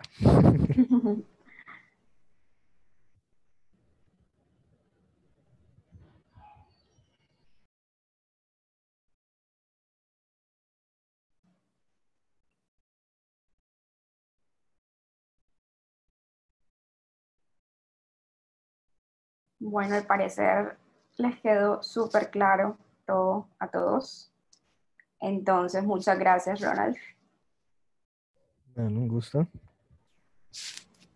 ah, no, no, no. Hay otra, hay una pregunta de, de, Mario Tatis. Eh, todas esas técnicas son válidas para los casos donde compras un template a, una, a un tercero porque si haces alguna modificación y luego instalas una actualización del, del template, template o templater. Debe ser, el mismo template. Template, ok. ¿Se perderían? Ok. Bueno, si son válidas, se pueden aplicar. En, el caso particular, template que se compran para WordPress, existe un concepto que se llama los temas hijos. Tú podrías, si tienes tu template, creas un tema hijo y en ese tema hijo haces todas las modificaciones que vayas a hacer para que no te afecte la actualización que, se le, que le vayan a hacer al template. Así no, no pierdes tu trabajo. Listo. Y Francisco Durán nos dice, ¿en qué punto se puede pensar que la cantidad de plugins usados es demasiada? ¿Qué punto? Bueno, yo, lo, yo siempre lo he dicho como que, que si tu página, o los, bueno, lo dicen también varias personas que lo he leído, si tu página te toma más de 5 segundos en cargar, preocúpate. Mira a ver qué estás haciendo porque si, dura ya los 5 segundos es porque estás incluyendo algo que no es, que es muy pesado y que no, lo no es realmente necesario. Entonces en ese punto es que ya es demasiado.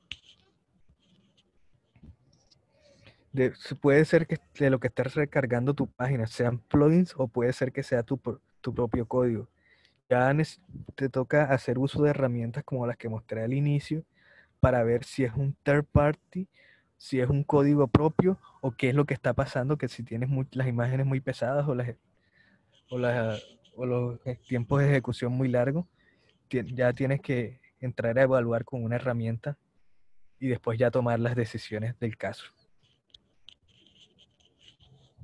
Eh, Miguel Bula eh, dice que tiene un portal de noticias que pasaría sin, sin borro fotos.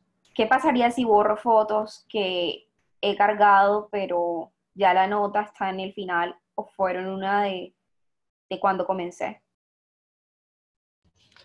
Pues si borran las fotos no se van a ver más. no, pero bueno, sí también, o sea, no importa no va a importar. O sea, después de que tú reemplaces el contenido, la imagen dentro del contenido de la noticia no debería tener problemas. Ya el problema es si la borras y no la vuelves a meter. Pero si la, si la, cambias por una optimizada, no hay problema. incluso hay plugins acá en WordPress, recuerdo, sí, incluso el mismo Tiny PNG o el, hay uno que se llama Smosh, te pueden hacer la optimización dentro de tu mismo sitio web.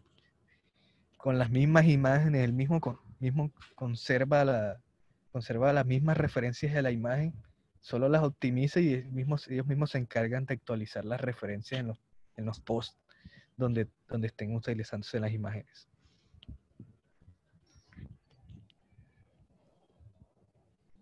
Bueno, y creo que ya no hay más preguntas. Entonces, ah, no.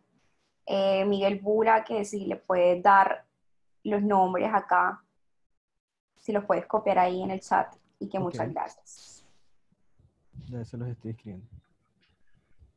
Ok, listo. no tenemos más preguntas, pues vamos a continuar con la siguiente charla, que es la mía. Entonces, eh, vamos a ver un poquito de accesibilidad y pues de todo lo que habló Jessy, de todo lo que habló Ronald, cómo llegamos allá de manera eficiente. Déjame y comparto la pantalla y empiezo mi presentación.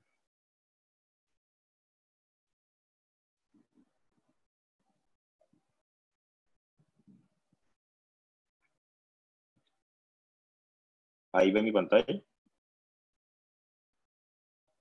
Sí.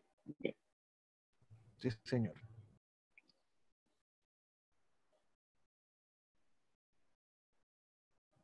Ok, listo. Bueno, eh, bueno eh, mi, nombre es Fabián Altadona, pues soy eh, desarrollador frontend en Cumbia. también ahora mismo estoy trabajando como frontend manager del área de manager en, en frontend. pues además de Cumbia tengo un emprendimiento propio que se llama Averos Web, que es soluciones de servidores y, infraestructuras en, en, el tema de la web. Eh, bueno, mi charla pues es cómo hacer que tu web sea más accesible para todos. Y bueno, básicamente es que sea accesible, pues antes de comenzar a cualquier, eh, cualquier tema sobre accesibilidad eh, dirigida a la web, pues primero tengo que hablarles sobre qué, es la diversidad funcional y pues que la mayoría de, de personas en el mundo presenta, incluso hasta a veces no, no nos damos cuenta de que estas personas tienen algún tipo de problema, pero están ahí siempre y pues incluso pueden ser nuestros clientes potenciales y no lo, no lo sabemos. Entonces, pues voy a hablarles un poquito sobre eso y pues ahí vamos entrando en el tema eh, eh, progresivamente en lo que es la accesibilidad web. Bueno, ¿qué es la diversidad funcional? Pues básicamente es, es tratada a todos esos problemas que presentan las personas a nivel cognitivo, visual, físico, auditivo, verbal y pues eh, me pareció bastante interesante mostrar las cifras de, de, que en el mundo hay más de 200, 200 millones de personas que presentan esta diversidad funcional. Es decir, que pues cada, de cada persona que, que existe en el mundo, cada, perdón, de cada siete personas, una, una presenta este problema. Entonces, eh, como les dije, a veces pasan inadvertidas, incluso personas que usan lentes, que uno las ve como normal, pues pueden llegar a tener un grado de, diversidad funcional. Bueno, eh, básicamente la diversidad funcional pues hace que estas personas dependan a la tecnología de asistencia, en este caso ya sea software o hardware. Eh, pues, por ejemplo, en la parte de software, eh, algunos lectores de pantalla y alguna tecnología pues de, de reconocimiento de voz y, y, entre otras cosas. Y en la parte de hardware, básicamente, pues son periféricos que, pues, que se adaptan a los computadores, eh, ayudando a las personas, pues en el caso de las personas que no ven, eh, pues el sistema Braille, Braille le permite pues eh, interactuar con, con, los sitios web de manera pues, como lo haría cualquier persona, pero con la ayuda asistiva de, de, un hardware.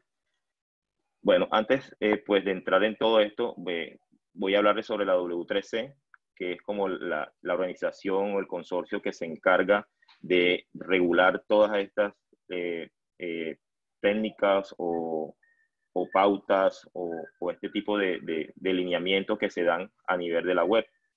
Entonces, de ahí surge algo que se llama el Web Content Accessibility Guideline, que son simplemente pautas o, o, tips que da eh, la organización para que hagan uso de ellas y, y, que pues crean sitios o contenidos accesibles.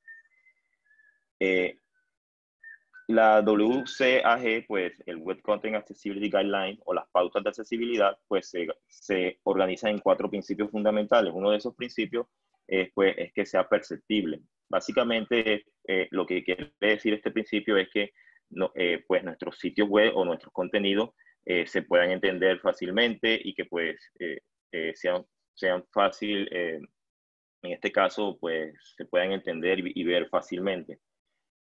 Otra cosa que, que, nos, que nos indica, pues, otro principio es que sea operable, pues básicamente es que se pueda usar, pues que pues, podamos eh, tener eh, extendido o, o soportado estos, estos hardware y software que pues les mencionaba antes, eh, que se pueda entender, como dije, hay personas que tienen problemas cognitivos, pues a veces es muy, para ellos es muy difícil pues entender lo, lo, que queremos transmitir, entonces ponernos un poco en su lugar para que a la vez que creamos esos contenidos, pues que sean de manera, que sean fácil de entender y que pues podamos llegar a, a ese público. Otra de las cosas, pues, de, de estos principios que nos, nos, habla sobre la parte del robusto o robusta. Eso quiere decir después que, nos, que cada vez que hagamos un desarrollo de, de, de sitios web, pues pensemos en los dispositivos móviles, eh, pensemos en, en, en, los diferentes eh, eh, dispositivos que pues podamos, podamos utilizar para que personas que tengan problemas y que no, pues puedan utilizar la, el sitio web o, o, o lo que estemos desarrollando.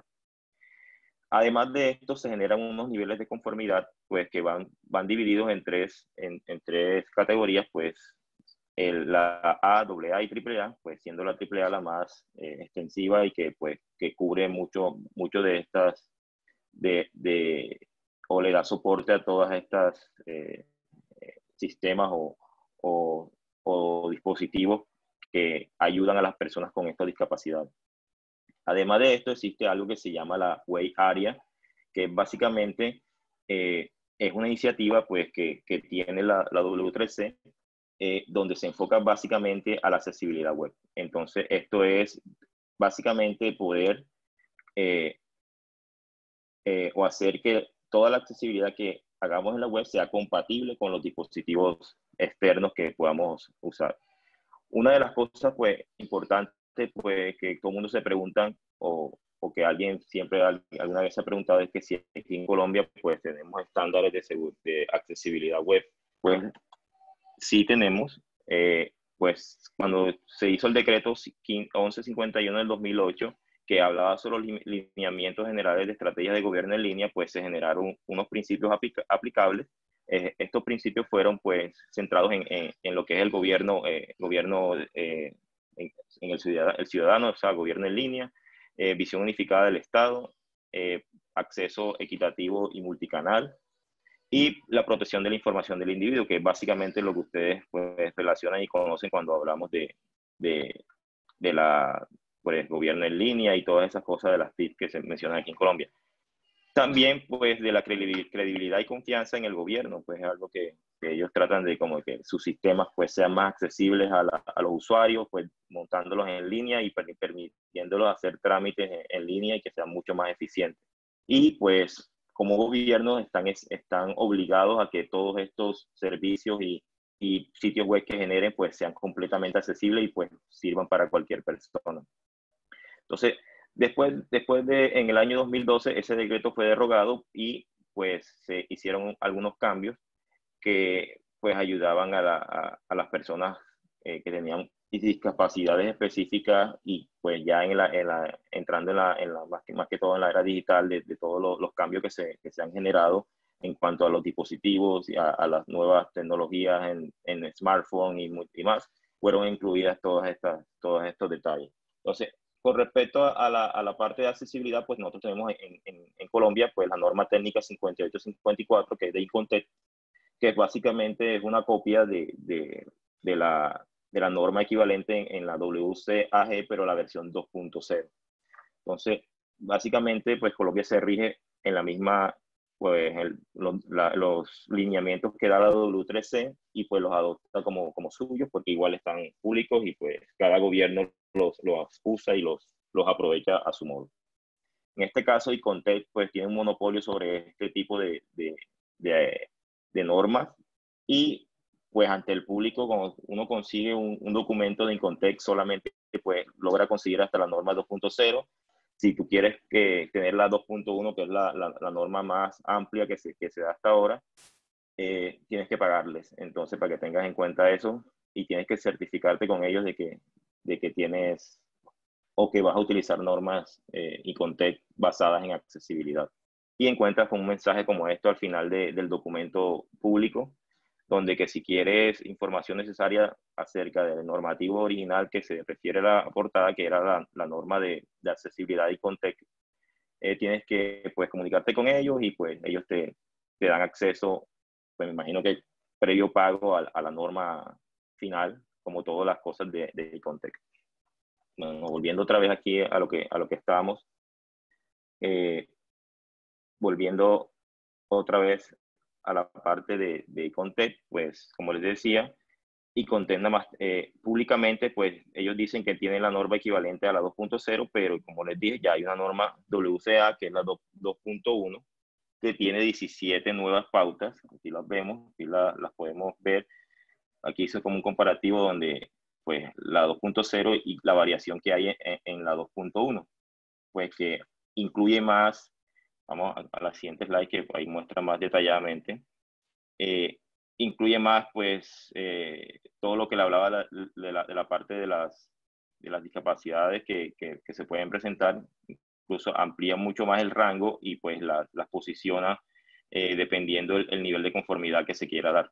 Entonces, más o menos aquí está un poco detallado de, de cada uno para que lo tengan en cuenta. Aquí, eh, pues, estos son unos datos que, pues, que saqué de la Fundación ADECO. Eh, estos datos nos, nos, dan un poco más de visión acerca de, de, las personas con problemas de discapacidad y en cuanto a, a la, a, a, esa interacción que hay en, en el Internet eh, o, o, hacia los sitios web de, la, de, las empresas y personas, pues vemos que, que es bastante amplio. Mira, todas las, en cuanto a, los dispositivos móviles, a los televisores, a los computadores, eh, Mira, por ejemplo, el de computador es bastante alta las personas que tienen discapacidades físicas y sensoriales, que, e incluso intelectuales, eh, que están usando Internet, o sea, que tienen acceso a, a Internet. Entonces, eh, por eso es bastante importante que a la hora que, que pensemos en un desarrollo web, pues eh, analicemos bien nuestro, nuestro, nuestro público objetivo, pues que muchas veces o la gran mayoría eh, es posible que, que, entre esas personas discapacitadas, discapacitadas estén nuestros clientes, sobre todo porque esas personas discapacitadas también tienen tarjeta de crédito, así que no se les olvide. Entonces, en caso que estén vendiendo algún producto, alguna cosa que, pues, que estén distribuyendo, pues tengan en cuenta estos detalles. Si vamos a las redes sociales, pues también vemos un alto eh, porcentaje de personas con discapacidad que utilizan redes sociales. Eh, según la, la Fundación UDECO, pues ahí muestra unas cifras en Facebook, Twitter y LinkedIn y vemos que la mayoría se está volcada en Facebook. Entonces, para que tengan en cuenta eso, esos, esos detalles y que este, cuando estén realizando páginas web, pues lo piensen y, se, y tomen un momento y analicen bien su, su público objetivo.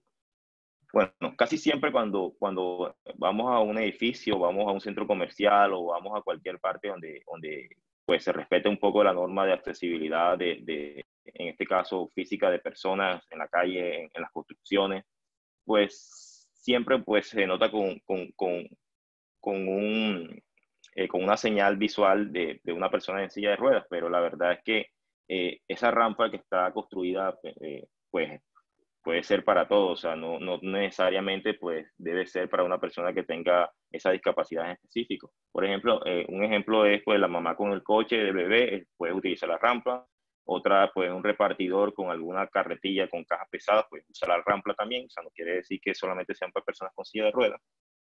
Incluso nosotros mismos cuando, cuando eh, si algún día pues nos fracturamos y vamos con muletas, pues usamos la rampa también.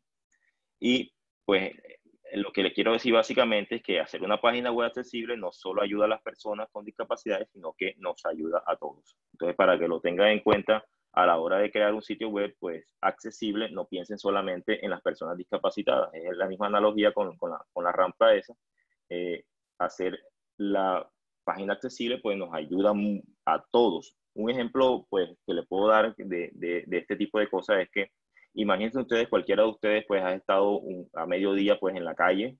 Eh, imagínense que pues le entró una llamada o, le entró un mensaje de WhatsApp diciendo, hey, este, revisa este link.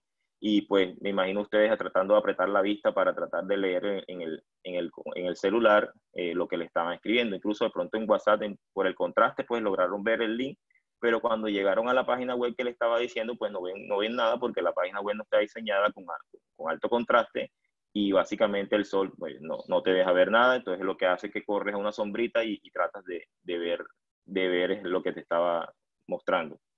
Entonces, ahí en ese momento, pues ocurren, ocurren un par de cosas, eh, eh, pues nos volvemos como una especie de, eh, tenemos como una discapacidad visual temporal o situacional que se, que se dio al contexto de uso, en ese caso, de, de lo que estaba pasando. Entonces, ahí sí, sí, se dan cuenta que cualquier de nosotros pues, puede tener ese, esos problemas y si no, y si, si no le damos soluciones, soporte en, en, nuestras páginas web, pues van a ocurrir cosas como esta. Otra de las cosas o otro pues creencias falsas, falsas que hay en, en torno a la accesibilidad es que es antes bueno, en las páginas de gobierno, en las páginas en línea, pensaban que la accesibilidad era eh, pues, lo negro sobre fondo blanco y lo blanco sobre fondo negro. Incluso hacían páginas web diferentes, en que una versión accesible incluso creaba una página adicional y no lo hacían en la misma página. Y esos son un montón de errores pues, que, que, se, que se llegaron a generar con respecto a que no entendía cómo funcionaba realmente todo esto de la normativa de, de, accesibilidad y pues no conocían pues los diversos dispositivos que, que, hay en el mercado y que pues si lo entregas de manera correcta pues puedes eh, eh, ayudar a estas personas. Entonces caían en, ese problema. Otra de las cosas era pues cuando comenzamos nuestros desarrollos web pues pensábamos, bueno, listo, te, hagamos el diseño y tenemos el desarrollo desktop o desarrollo de, de escritorio de primero, o sea, hacíamos primero toda la vista de escritorio y luego pues eh, utilizábamos un sistema de, grillas que nos, mostra, nos, nos, ajustaba el contenido o pues hacíamos diseños específicos para, para cada dispositivo. Entonces pues, sucedía eso que está ahí, bueno, pues hasta ahí se veía todo normal. Luego pues salió una tendencia que es la tendencia actual, que incluso Google ya migró a esta tendencia que todas las páginas web pues que hagan esta tendencia de mobile first les va a dar como eh, prioridad en, el, en, la indexación. Por eso es que es bastante importante que lo tengan en cuenta a la hora de, algún desarrollo web, pues haga mobile first. Y eso está ahora mismo es la, como la tendencia en el momento y pues el, el, gran Google pues lo está tomando en cuenta para, a la hora de indexar sus páginas. Entonces no, no lo olviden. Entonces, por ejemplo, si tomamos el caso del, del, del escritorio primero, o sea, eh, desktop first, sucede algo como esto miren, miren los problemas que pueden causar. Entonces, ¿qué se evitarían pues cuando haces un, un diseño mobile first que, que, puedes tener más control sobre los elementos? no caigan en, ese, en eso y pues ténganlo en cuenta. Continuamos.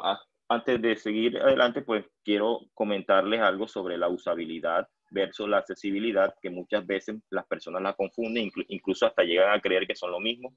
Entonces, pues les voy a mostrar un poco qué es cada una para que pues ya se quiten ese mito de la cabeza y puedan, eh, puedan diferenciarlas. Entonces, por ejemplo, en la, si hablamos de usabilidad web, pues nos referimos a usuarios específicos. Eh, ya tenemos un objetivo específico planeado. Eh, el, contexto, el contexto también es algo específico, o sea, con referente a lo, que, a lo que queremos testear y pues se hace con eficacia, eficiencia y siempre se garantiza la satisfacción del cliente. Pues es, es básicamente como hacer eh, ciertas revisiones específicas con, con, usuarios específicos y manejando un contexto controlado donde se puedan tomar toda esta, todas estas pruebas eh, de usabilidad. Pues.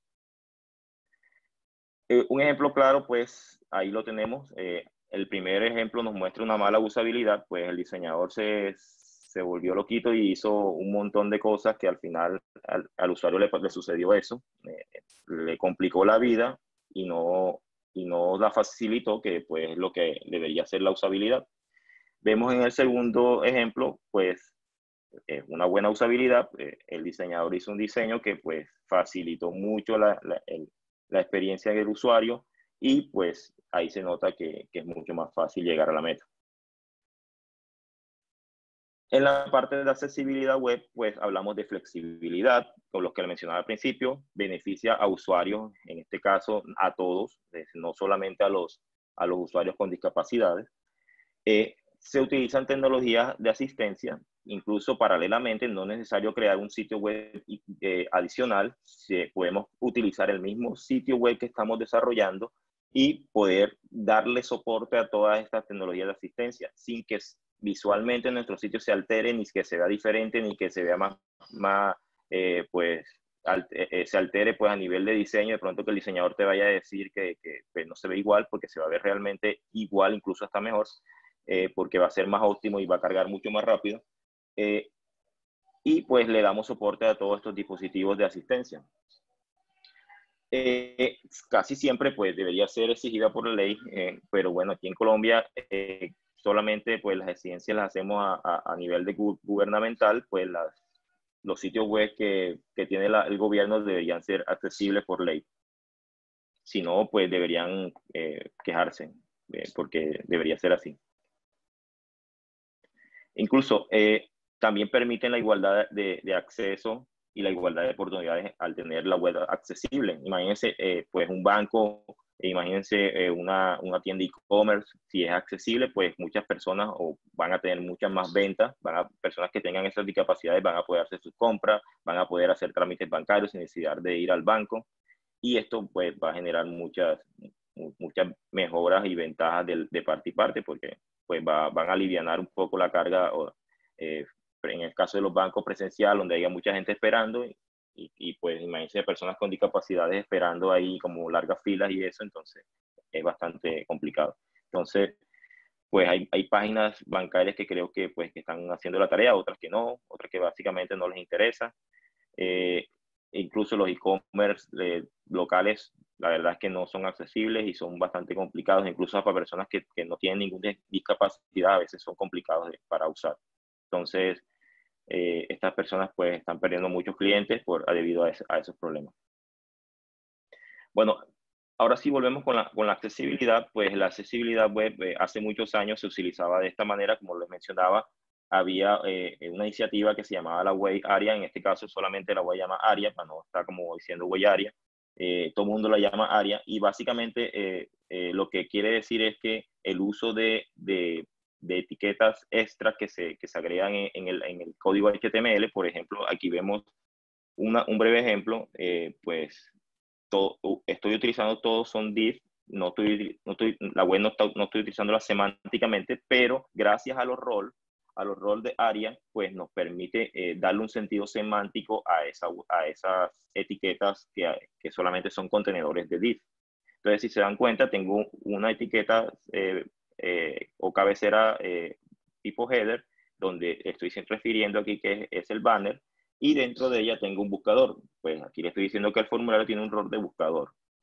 Igual así sigo bajando, eh, tengo el rol de el main, que es como el contenido principal, tengo el, rol complementario, que son contenidos adicionales, igual el rol navigation, y content info, que básicamente pues se refiere como al footer o cosas así. Ya todo esto ha actualizado y ha cambiado y pues ahora conseguimos web semánticas donde ya tenemos una etiqueta que se llama header, otra etiqueta que se llama footer, una etiqueta que se llama site, una etiqueta que se llama main, y así sucesivamente, pues todo esto lo hemos ido reemplazando, pero eso no quiere decir que no sigamos utilizando las etiquetas área, porque muchas veces los dispositivos que, que, pues, que la aprovechan de cuando se conectan a las páginas, todavía pues buscan estas etiquetas y es la forma como que podemos ayudar a, a estas personas que puedan utilizar la página.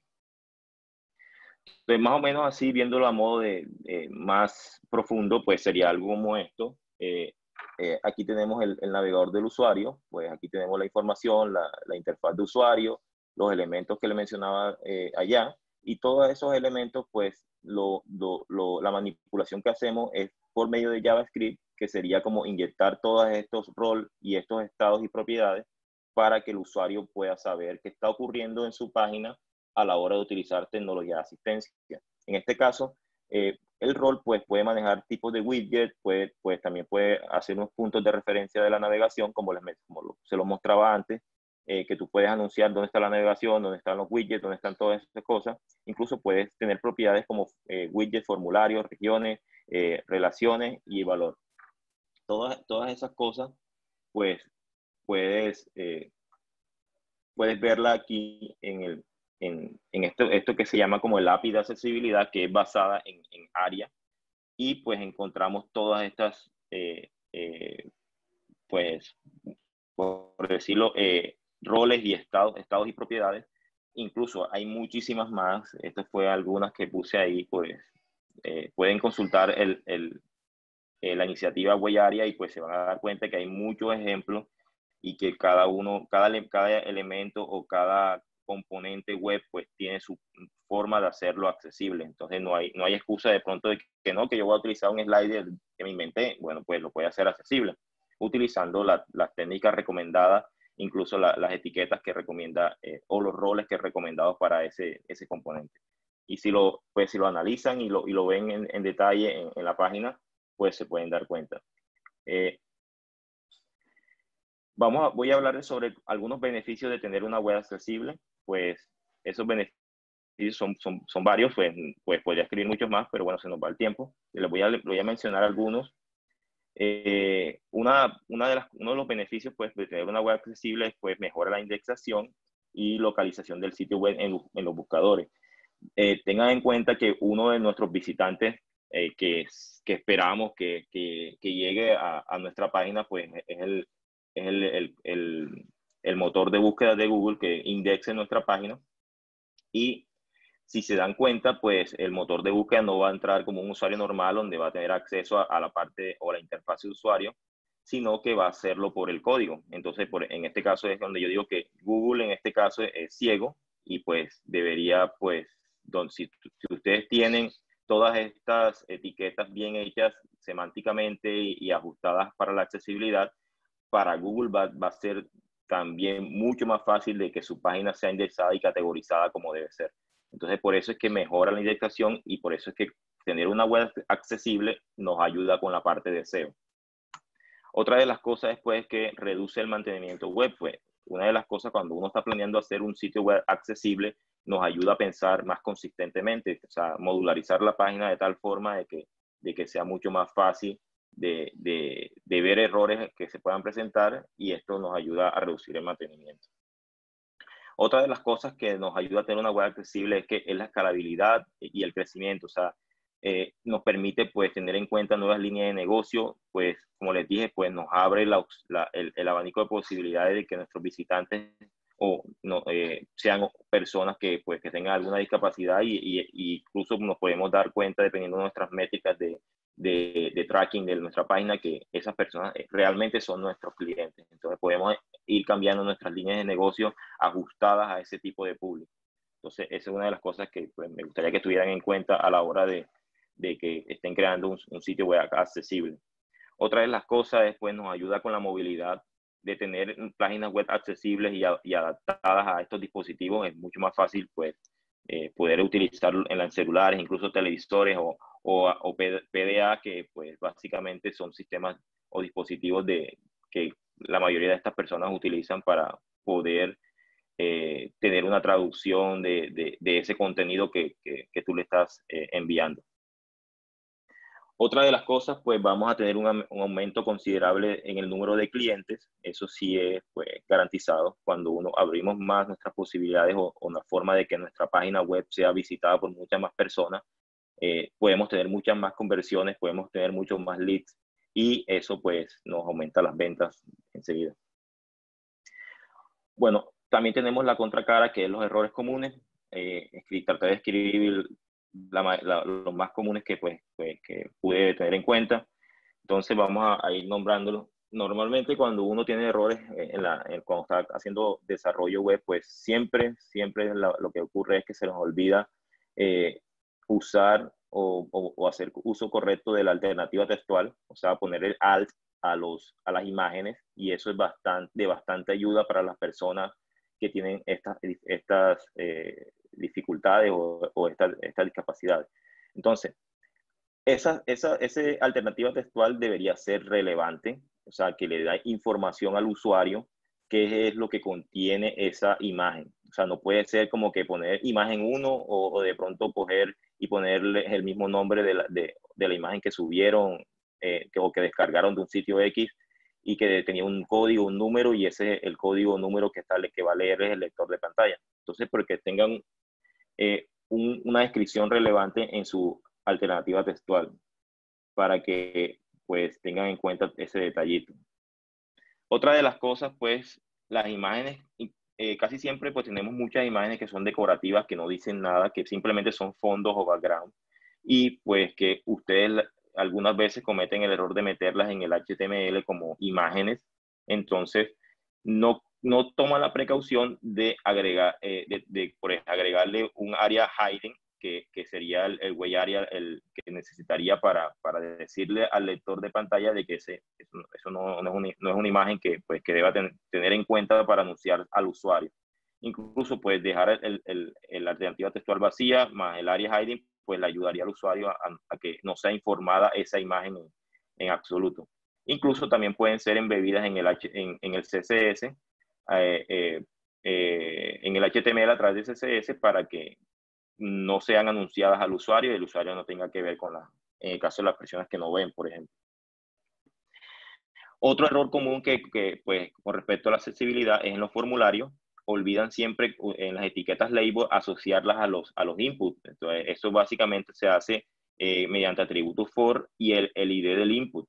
muchas veces, pues, hay diseñadores que hacen sitios y eh, no, visualmente no ponen los labels y de una el desarrollador lo que piensa es que, ah, no me pusieron los labels, entonces pues yo no los voy a poner en el, en el HTML. Entonces eso es un error grave lo que, lo que estás haciendo porque estás ahí está restringiendo la, parte de accesibilidad de, tu, de tu formulario.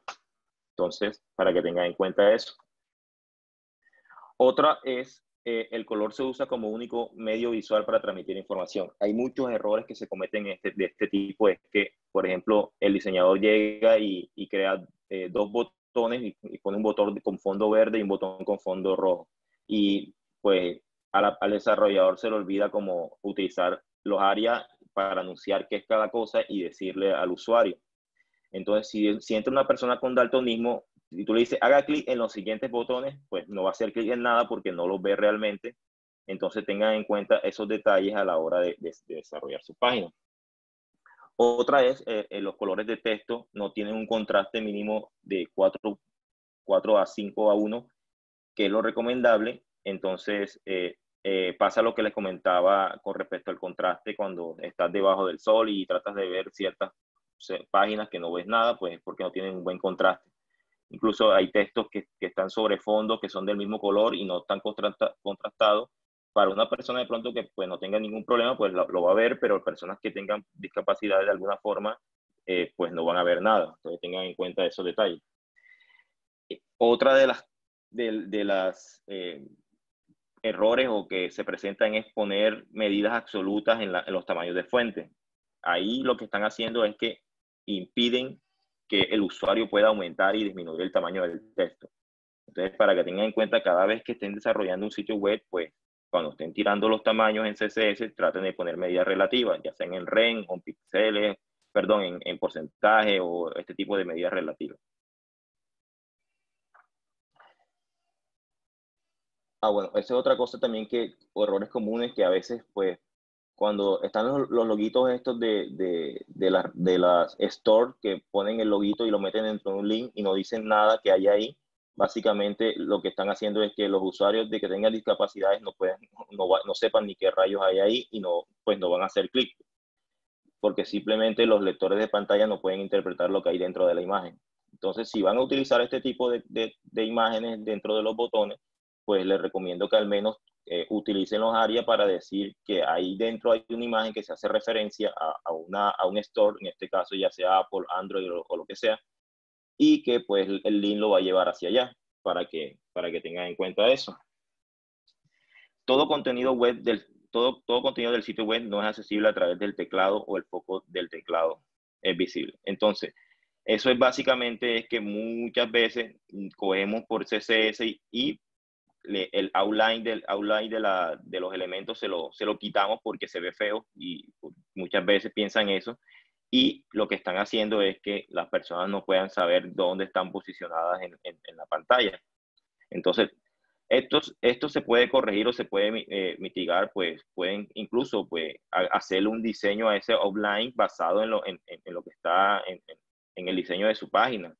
Y pues ahí pues pueden dejarlo y no quitarlo de, de, manera que de pronto una persona no pueda saber dónde está posicionado cuando utiliza dispositivos como el teclado con el tab o, algún dispositivo externo que, que, que le ayude a navegar en la página. Los carruseles o sliders no pueden ser detenidos o pausados. Ese es otro error que se presenta mucho. También es que pues hacemos los sliders o los carruseles o lo que sea y pues lo ponemos que infinitamente corran ahí. Hay una información que tenemos que el usuario debe leer y hay unas personas que tienen problemas cognitivos y no, no alcanzan ni siquiera a ver qué es lo que dice porque va muy rápido o, o, no pueden detenerlo al momento que están revisando. Entonces, otra, otro detalle, otro punto que no se les puede pasar eh, porque esto les va a traer muchos problemas. Esto también va, atado con el foco de los elementos o, del outline de los elementos. Este, estos, esto del, del atributo tab index, eh, pues deberíamos organizarlo de una manera coherente, de que cuando la persona de tab, pues vaya bajando los elementos eh, de manera lógica y coherente, pues y no salte, por ejemplo, del, del header al, footer y así, porque si no la persona se va a perder. Los enlaces no tienen una descripción que identifique el propósito del elemento o es demasiado ambigua, provocando confusión en el usuario al navegar por las páginas a través de un asistente técnico. Ese, eh, error se refiere eh, básicamente pues, cuando tenemos un botón que dice, pues, eh, clic aquí, pues ya sabemos que es un botón, ya sabemos que tenemos que cliquearlo, porque le ponemos clic aquí? O sea, tenemos que decirle qué va a hacer o qué acción va a hacer ese botón. Entonces, se, resulta que no, no estamos sabiendo utilizar este tipo de cosas y pues estamos limitando incluso a personas que no tienen problemas de discapacidad, ese clic aquí no les dice nada. Entonces, el contenido no se encuentra estructurado en, encabezados H1, H6, siguiendo la jerarquía lineal y coherente de las, descripciones, de las descripciones adecuadas. Ese es otro problema, pues eh, una de las cosas que deben tener en cuenta es que si ustedes quitan el CSS de tu sitio web, eh, la página que, que, que, se queda ahí sin los estilos debería leerse como un periódico. Y eso lo, lo pues, no, lo, nos ayuda a que, a que, a que sea así con, con, los headings, con los H y con los párrafos y todo, todo este elemento que tenemos disponible en el HTML. Si lo estructuramos de manera óptima o de una manera coherente, pues vamos a tener todo esto estructurado de, de una manera, como, como lo estoy diciendo, como si fuera un periódico. No se indica el idioma del sitio web mediante el atributo LAN o los cambios de idioma. Bueno, esa es otra cosa. Afortunadamente en WordPress esto es automático cuando ya tú haces o instalas un tema. Eh, muchas veces eh, cuando tratas de utilizar un, un, traductor de esto, ya sea WP, WPM, Loco Translate o alguna cosa de estas que, que traduzca la página, eh, él por debajo se encarga de, de agregar el atributo o el cambio de lenguaje. Entonces, pero algunas veces las personas pues hacen contenido en inglés y se olvida colocar el launch en la etiqueta HTML como atributo. Entonces tengan en cuenta eso, que eso es bastante importante y afecta las métricas de, de, de, los algoritmos de, velocidad y, y demás. Eh, no se informa al usuario sobre errores de introducción de datos de entrada, como se indica en el formato admitido en el campo de entrada, o asociar algún error correspondiente al campo de entrada mediante el atributo wait area described by.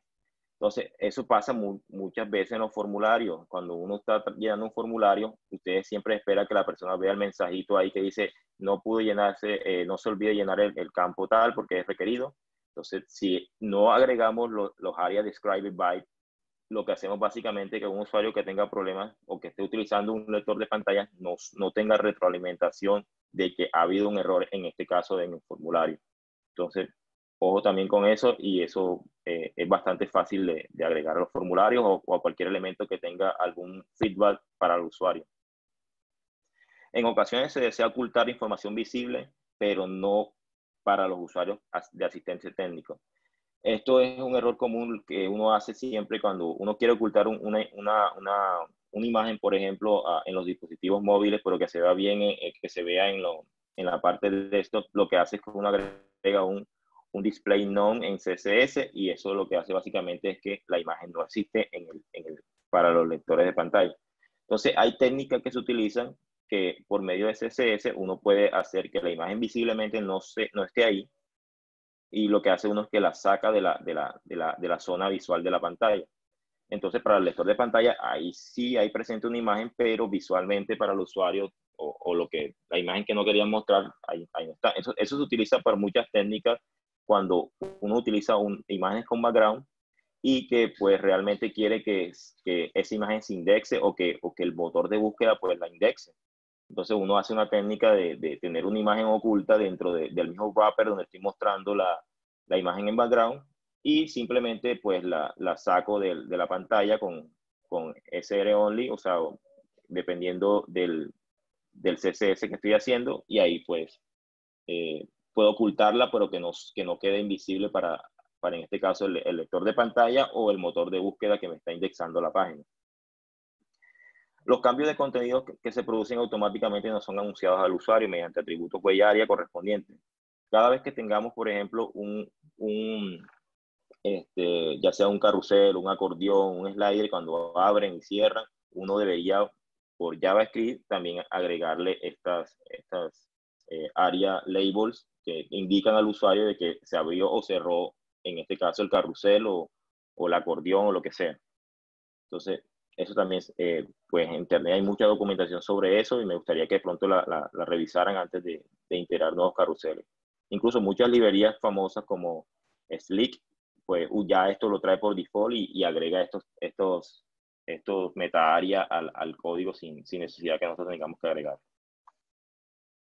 Bueno, eh, termino con este. Eh, se utilizan etiquetas HTML o atributos o roles área de forma equivocada, es decir, con una funcionalidad diferente a la que ha sido establecido. Esto es un error que se comete pues cuando uno está empezando en esto de accesibilidad, uno simplemente empieza a utilizar los atributos porque creyó o se pareció a lo que creía que hacía y no se toma el trabajo de ir a, revisar en, en, la documentación qué hace cada atributo o qué hace cada rol cada rol y cada atributo es específico para lo que estés tratando o, el componente que estés utilizando en la web. Entonces, tómate el trabajo, tómate el momento antes de que empieces a hacer los cambios, pues consulta la documentación y pues eh, es bastante eh, sencillo a la hora que lo aprendas ya pues se hace mecánico y simplemente cuando estés tirando el HTML pues vas agregando tus roles sin problema. ¿Listo? Eso es todo lo que le quería mostrar de momento sobre la accesibilidad. Recuerde que esta, esta charla es una introducción. Eh, esta charla es mucho más amplia, eh, incluso no, no, ni siquiera llegué a mostrarle en la parte práctica cómo, cómo se hacía. Entonces, eh, próximamente pues estar haciendo otras charlas sobre accesibilidad y ya más práctica, no tanta teoría, pues quería que vieran la teoría para poder ir a la práctica y que no hubiera dudas. Si tienen preguntas, pues estoy atento a, a responderles.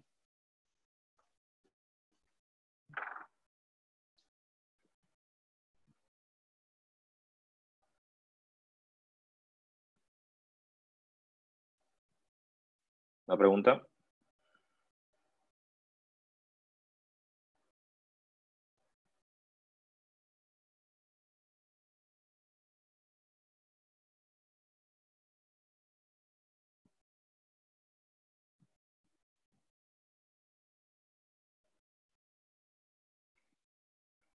Ah, se fueron, no hay, no hay preguntas.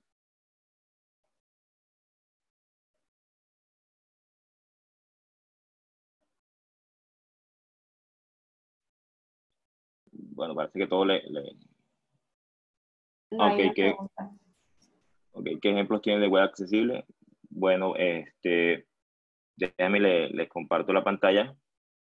Eh, ahora mismo nosotros estamos haciendo un desarrollo de la nueva página de Cumbia eh, ese desarrollo, ese desarrollo todavía está en progreso, pero ya tenemos eh, eh, mucha, mucho adelanto. Déjenme le comparto la pantalla y se las muestro.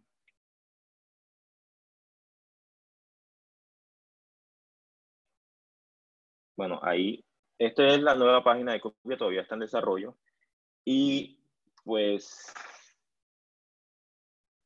estamos haciéndola accesible pensando en el performance, pensando en, en, las buenas prácticas, pensando en todo ese algoritmo de, que, nos, que nos hace el audit y solucionándolo. Todavía, pues, como les dije, no está 100%, todavía estamos en desarrollo, pero si ya yo genero un reporte ahora, ahora mismo aquí, eh, pues me va a dar unas métricas, pues, eh, que son buenas en general, o, o, me van a dar una visión de, de cómo voy eh, antes de terminar la página en producción.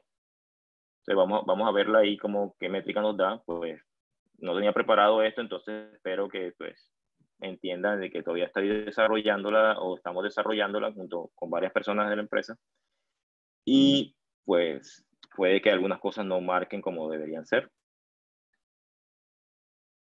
Bueno, ahí está terminando el test. Bueno, ahí está. Bueno, miren que la accesibilidad, pues ya tenemos 100%. Aquí no, no estamos pasando todas las, todo el audit completo, tenemos todos los roles, tenemos todo lo, que, lo que yo le mencionaba. Eh, tenemos un pequeño detalle de performance, pero me imagino porque eh, como estoy corriéndolo en un servidor de pruebas, pues todavía hay problemas. O sea, no, no tengo un CDN, no tengo muchas cosas que debería tener y eso pues impacta directamente en, en el performance. Eh, esta parte de buenas prácticas, pues hay cosas que, que, me, pues, que me está diciendo. Básicamente se refiere a los scripts. Yo me imagino que esa, eh, pues está hablando de eh, algunas cosas que no están minificadas aún y otras cosas que, que se pueden optimizar, como lo decía Ronald en su charla. Eh, en la parte de SEO, pues básicamente me dio 91 porque la página todavía está bloqueada para ser indexada, entonces pues me está mostrando la advertencia, pero apenas la pasemos a producción, estoy seguro que esta métrica va a dar 100%. Y en la parte, eh, si te dan cuenta del último, tenemos un Progressive Web App, que eso, eso es bastante bueno porque nos permite eh, mostrarle contenido al usuario, incluso si no tienes internet. Incluso le podemos mandar notificaciones y un montón de cosas más interesantes. Eh, vamos aquí, si, si hacemos el test otra vez, pues lo, lo hice antes, vamos a hacerlo. Eh, si tenemos la página completamente accesible, pues nos ayuda a que pase esto. O sea, miren que ya tenemos eh, ya en, el, en, el, en Google pues 100% y mira que el render se, se da desde el primer eh, fotograma o, o, primera pantallazo que, o, que está renderizando, que muchas veces a personas le pasa que pasan 5, 6, 7 cuadritos de eso y apenas que se va a mostrar la página, que ahí, ahí es donde hay problemas de elementos que se bloquean el render de la página. Entonces, ¿cómo conseguimos esto? Como mencionaba Ronald, teniendo crítica CSS, optimizando, haciendo defer de los, de los contenidos. Eh, pues mira, en móvil todavía tenemos un detallito, pero va más que todo al, al, servidor, que eso lo vamos a conseguir ya cuando tengamos en producción el, la página y tengamos el CDN y tengamos el caché y tengamos todas esas cosas que nos van a ayudar a que, a que pues, pues incluso CSS sin usar es porque todavía no hemos modularizado el CSS eh, que eso lo vamos a hacer próximamente porque eh, empezamos a utilizar Gutenberg y, estamos haciendo los contenidos en, eh, en, los módulos en React que nos van a ayudar a que esto se, solve, se, solve, se solvente. incluso hay unos, detallitos de, pronto de, de, cargas previas, solicitudes que no se están haciendo en móvil, pero sí se están haciendo en, desktop. Entonces, ahí tenemos que como que revisar y, y pues que nos, que nos empiecen a dar las métricas. Incluso si llevamos, a, si llevamos la página a GT Metrics, como nos mostraba Ronald, pues nos da otras métricas o, nos da otra visión eh, y nos ayuda como a entender, entender más lo que está pasando con la, con la página. Entonces, vamos a esperar un momentico mientras termina hacer fetch del sitio y nos damos cuenta de, que todas estas cosas que hicimos para la accesibilidad nos están ayudando a la hora del performance, de las buenas prácticas y todo. Miren, aquí ahora mismo tenemos unas métricas muy buenas que se pueden incluso mejorar mucho más cuando yo, por ejemplo, mira aquí, aquí hay una oportunidad que es lo que le mencionaba.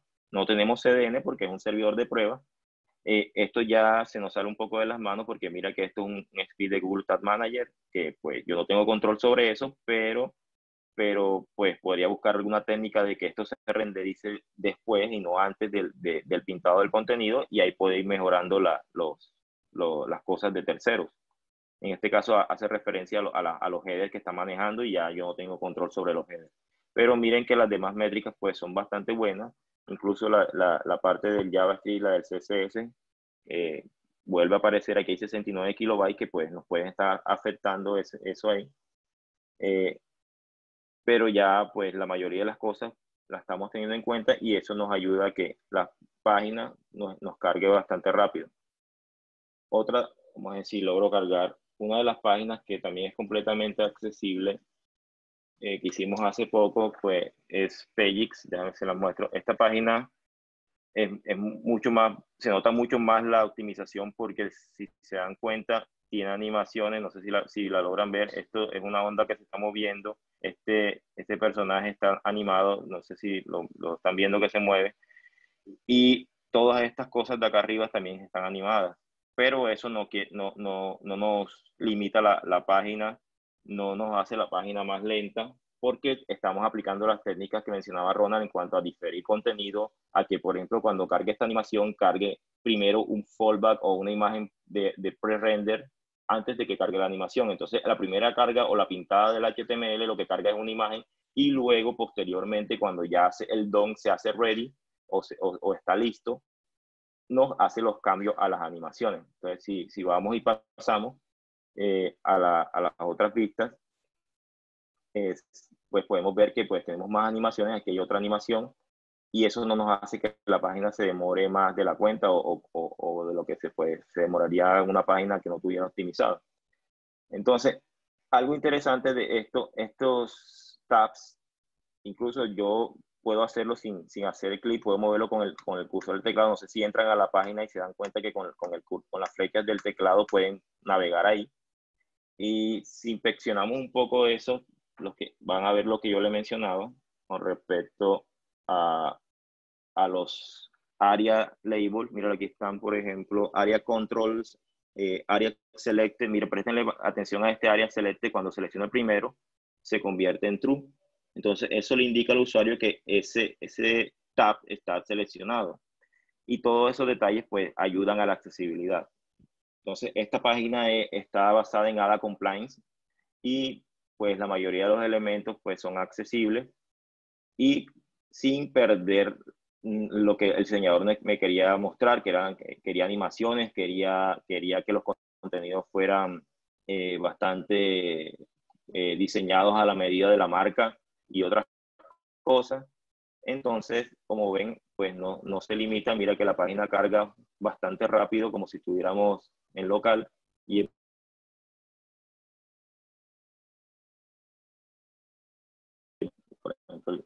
formulario de contacto, pues, y tal. Listo. No sé si tienen alguna pregunta, no sé, Luis, ahí en el chat preguntas.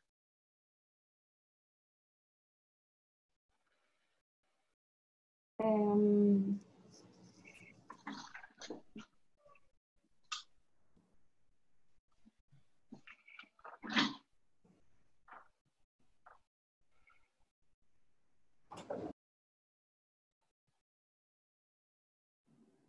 creo que hay una de Carlos Insignares, o no sé si hay otra más arriba, ¿no? Puede decir... Eh, sí, sí. Em, que cómo sería un diseño orientado principalmente a personas invidentes. Em, dice que él pensaba en una para podcast orientados a ese público. Pues como, como te mencionaba en la, en la, presentación, pues básicamente con que tú agregues los meta áreas y, y le des soporte a, a, todos estos dispositivos de hardware y software, pues ahí vas a tener la oportunidad de que ese público pueda acceder a tu página. Incluso los hay controles accesibles en caso de pues, reproductores, como mencionas, que quieren hacer algo de podcast. Eh, estos, estos reproductores también los, hay accesibilidad en ellos y pues, podrías darle soporte a todos esos controles, pues, ya sea en el teclado o, o, o algún dispositivo de, de, hardware que puedas integrar. Eh, también está una pregunta de Linda Martínez. Dice, hola Fabián, excelente presentación. ¿Puedes por favor mencionar una pequeña lista de plugins de accesibilidad web y sus usos? Y muchas gracias y saludos desde Cuestas Santander. Bueno, este, básicamente eh, plugins que te pueda mencionar, pues si te refieres específicamente a plugins que puedas usar en WordPress o alguna de estos, pues la verdad es que yo no uso, yo lo que hago es que me voy directamente a, la W3C y voy, voy leyendo las recomendaciones y pues la mayoría de los sitios que hago los hago eh, desarrollados desde cero. Eh, no soy de las personas que hace instalaciones en WordPress a, a clics, o sea, como que instalo 10 plugins y ya tengo una página funcionando sino que muchas veces pues desarrollamos el tema de cero y tenemos el control completo de todas estas cosas y esto pues nos garantiza de que eh, pues las páginas sean de verdad accesibles, como decía Ronald, que, cualquiera que te venda la solución así, que aquí hay una, una, una, herramienta mágica que hace esto sin que tú hagas nada, pues eso es mentira. Entonces, debes tener el control de todos estos elementos, ya sea de, de las imágenes, de los, de los estilos, de los scripts y todas estas cosas, y eso es lo que nos permite que podamos eh, dar eh, o, podamos obtener esos resultados esperados en caso de, los que le mostré, pues las buenas métricas y todo esto se traduce, pues eh, las personas de marketing son felices cuando las páginas cargan rápido y ellos saben porque eso convierte más usuarios. Entonces, no hay una fórmula o un plugin que de pronto te pueda recomendar.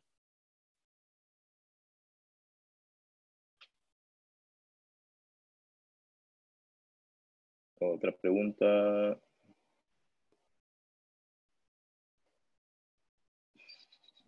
Estaba en mute. Eh, este, Miguel Bula, que muy buena charla muy interesante. Ah, que se va a retirar. Buenas noches. Eh, y Linda, que muchas gracias.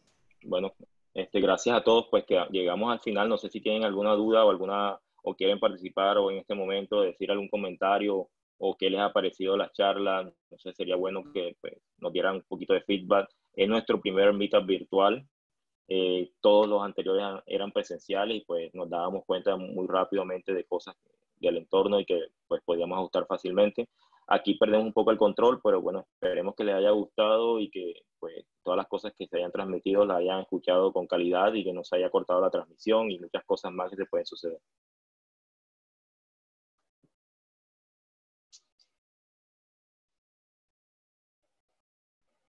Puedo hacer una,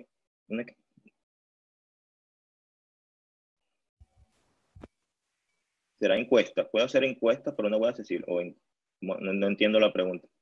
¿Puedo hacer encuestas? Encuestas. Sí. Pues básicamente, pues hacer una encuesta casi siempre son elementos de formulario. Pues si les da accesibilidad a, todos esos elementos, como ya habíamos mencionado, pues, pues sí pueden ser accesibles, no hay problema.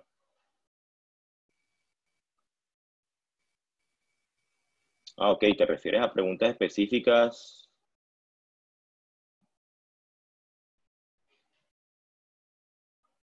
O sea, no, no, no sé, no sé qué te refieres exactamente como, pues, validar cuánto, pues, si quieres tener una, como una forma de medir estas personas o saber dónde están, pues hay entidades que, que, ya tienen estas métricas y estas, eh, estas encuestas realizadas y no, no, no, pues no veo sentido de que tú las hagas nuevamente. Claro que sí, pues en el caso de, si recomiendo WordPress para crear sitios web accesibles, completamente los sitios que estamos haciendo eh, últimamente eh, accesibles y, pues con todo lo demás que les mostré con respecto al performance, a las buenas prácticas y a todas estas estructuras, sí lo hacemos en WordPress y con eh, pues no, no tenemos límites con WordPress, pues podemos hacer lo que queramos eh, solamente pues nos dan requerimientos y nosotros lo adaptamos a, las necesidades que, necesitamos, en este caso basados en el core de WordPress eh, y extendiendo las funcionalidades en lo más posible. Si no se puede, pues las creamos.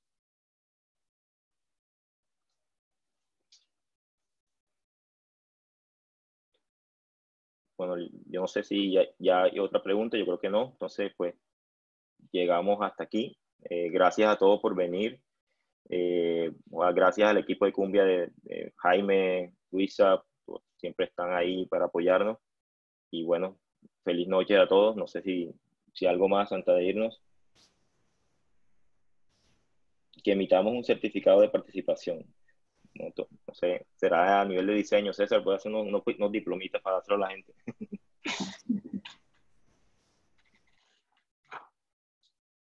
bueno, bueno, entonces quedamos así. Eh, muchas gracias a todos. Eh, Once. Hay una pregunta sobre el hosting. Ah, ¿dónde? Eh, ok. Aparte de todas estas recomendaciones e indicaciones sobre el desarrollo, ¿qué tan importante sería el hosting? Ah, ok. Bueno, esa es una excelente pregunta.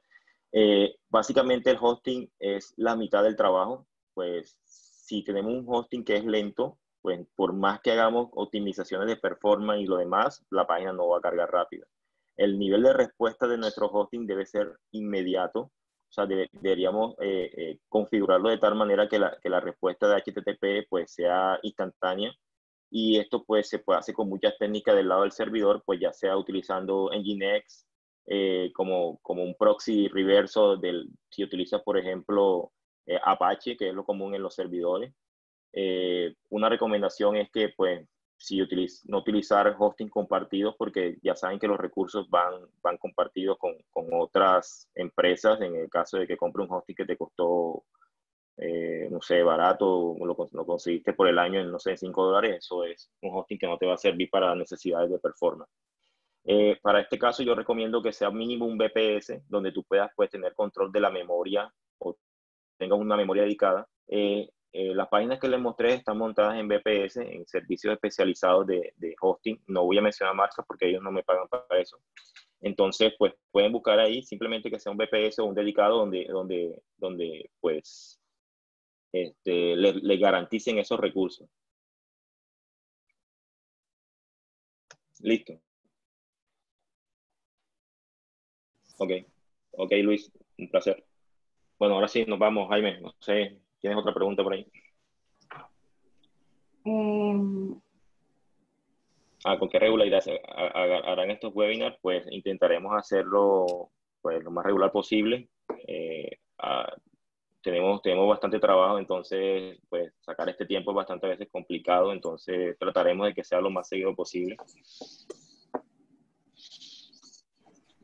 Igualmente nosotros estaremos avisándoles de, de cualquier webinar, eh, pues por nuestras redes también si, hacemos más.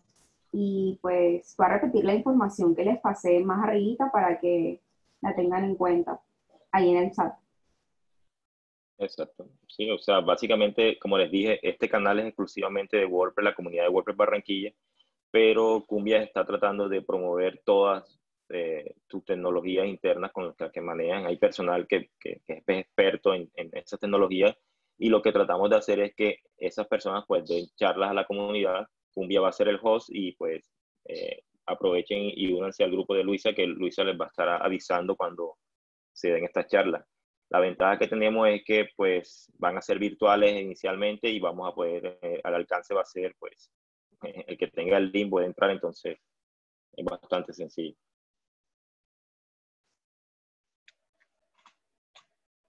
Bueno, entonces nos fuimos, pues. Gracias a todos, pues nos, nos, estamos viendo próximamente.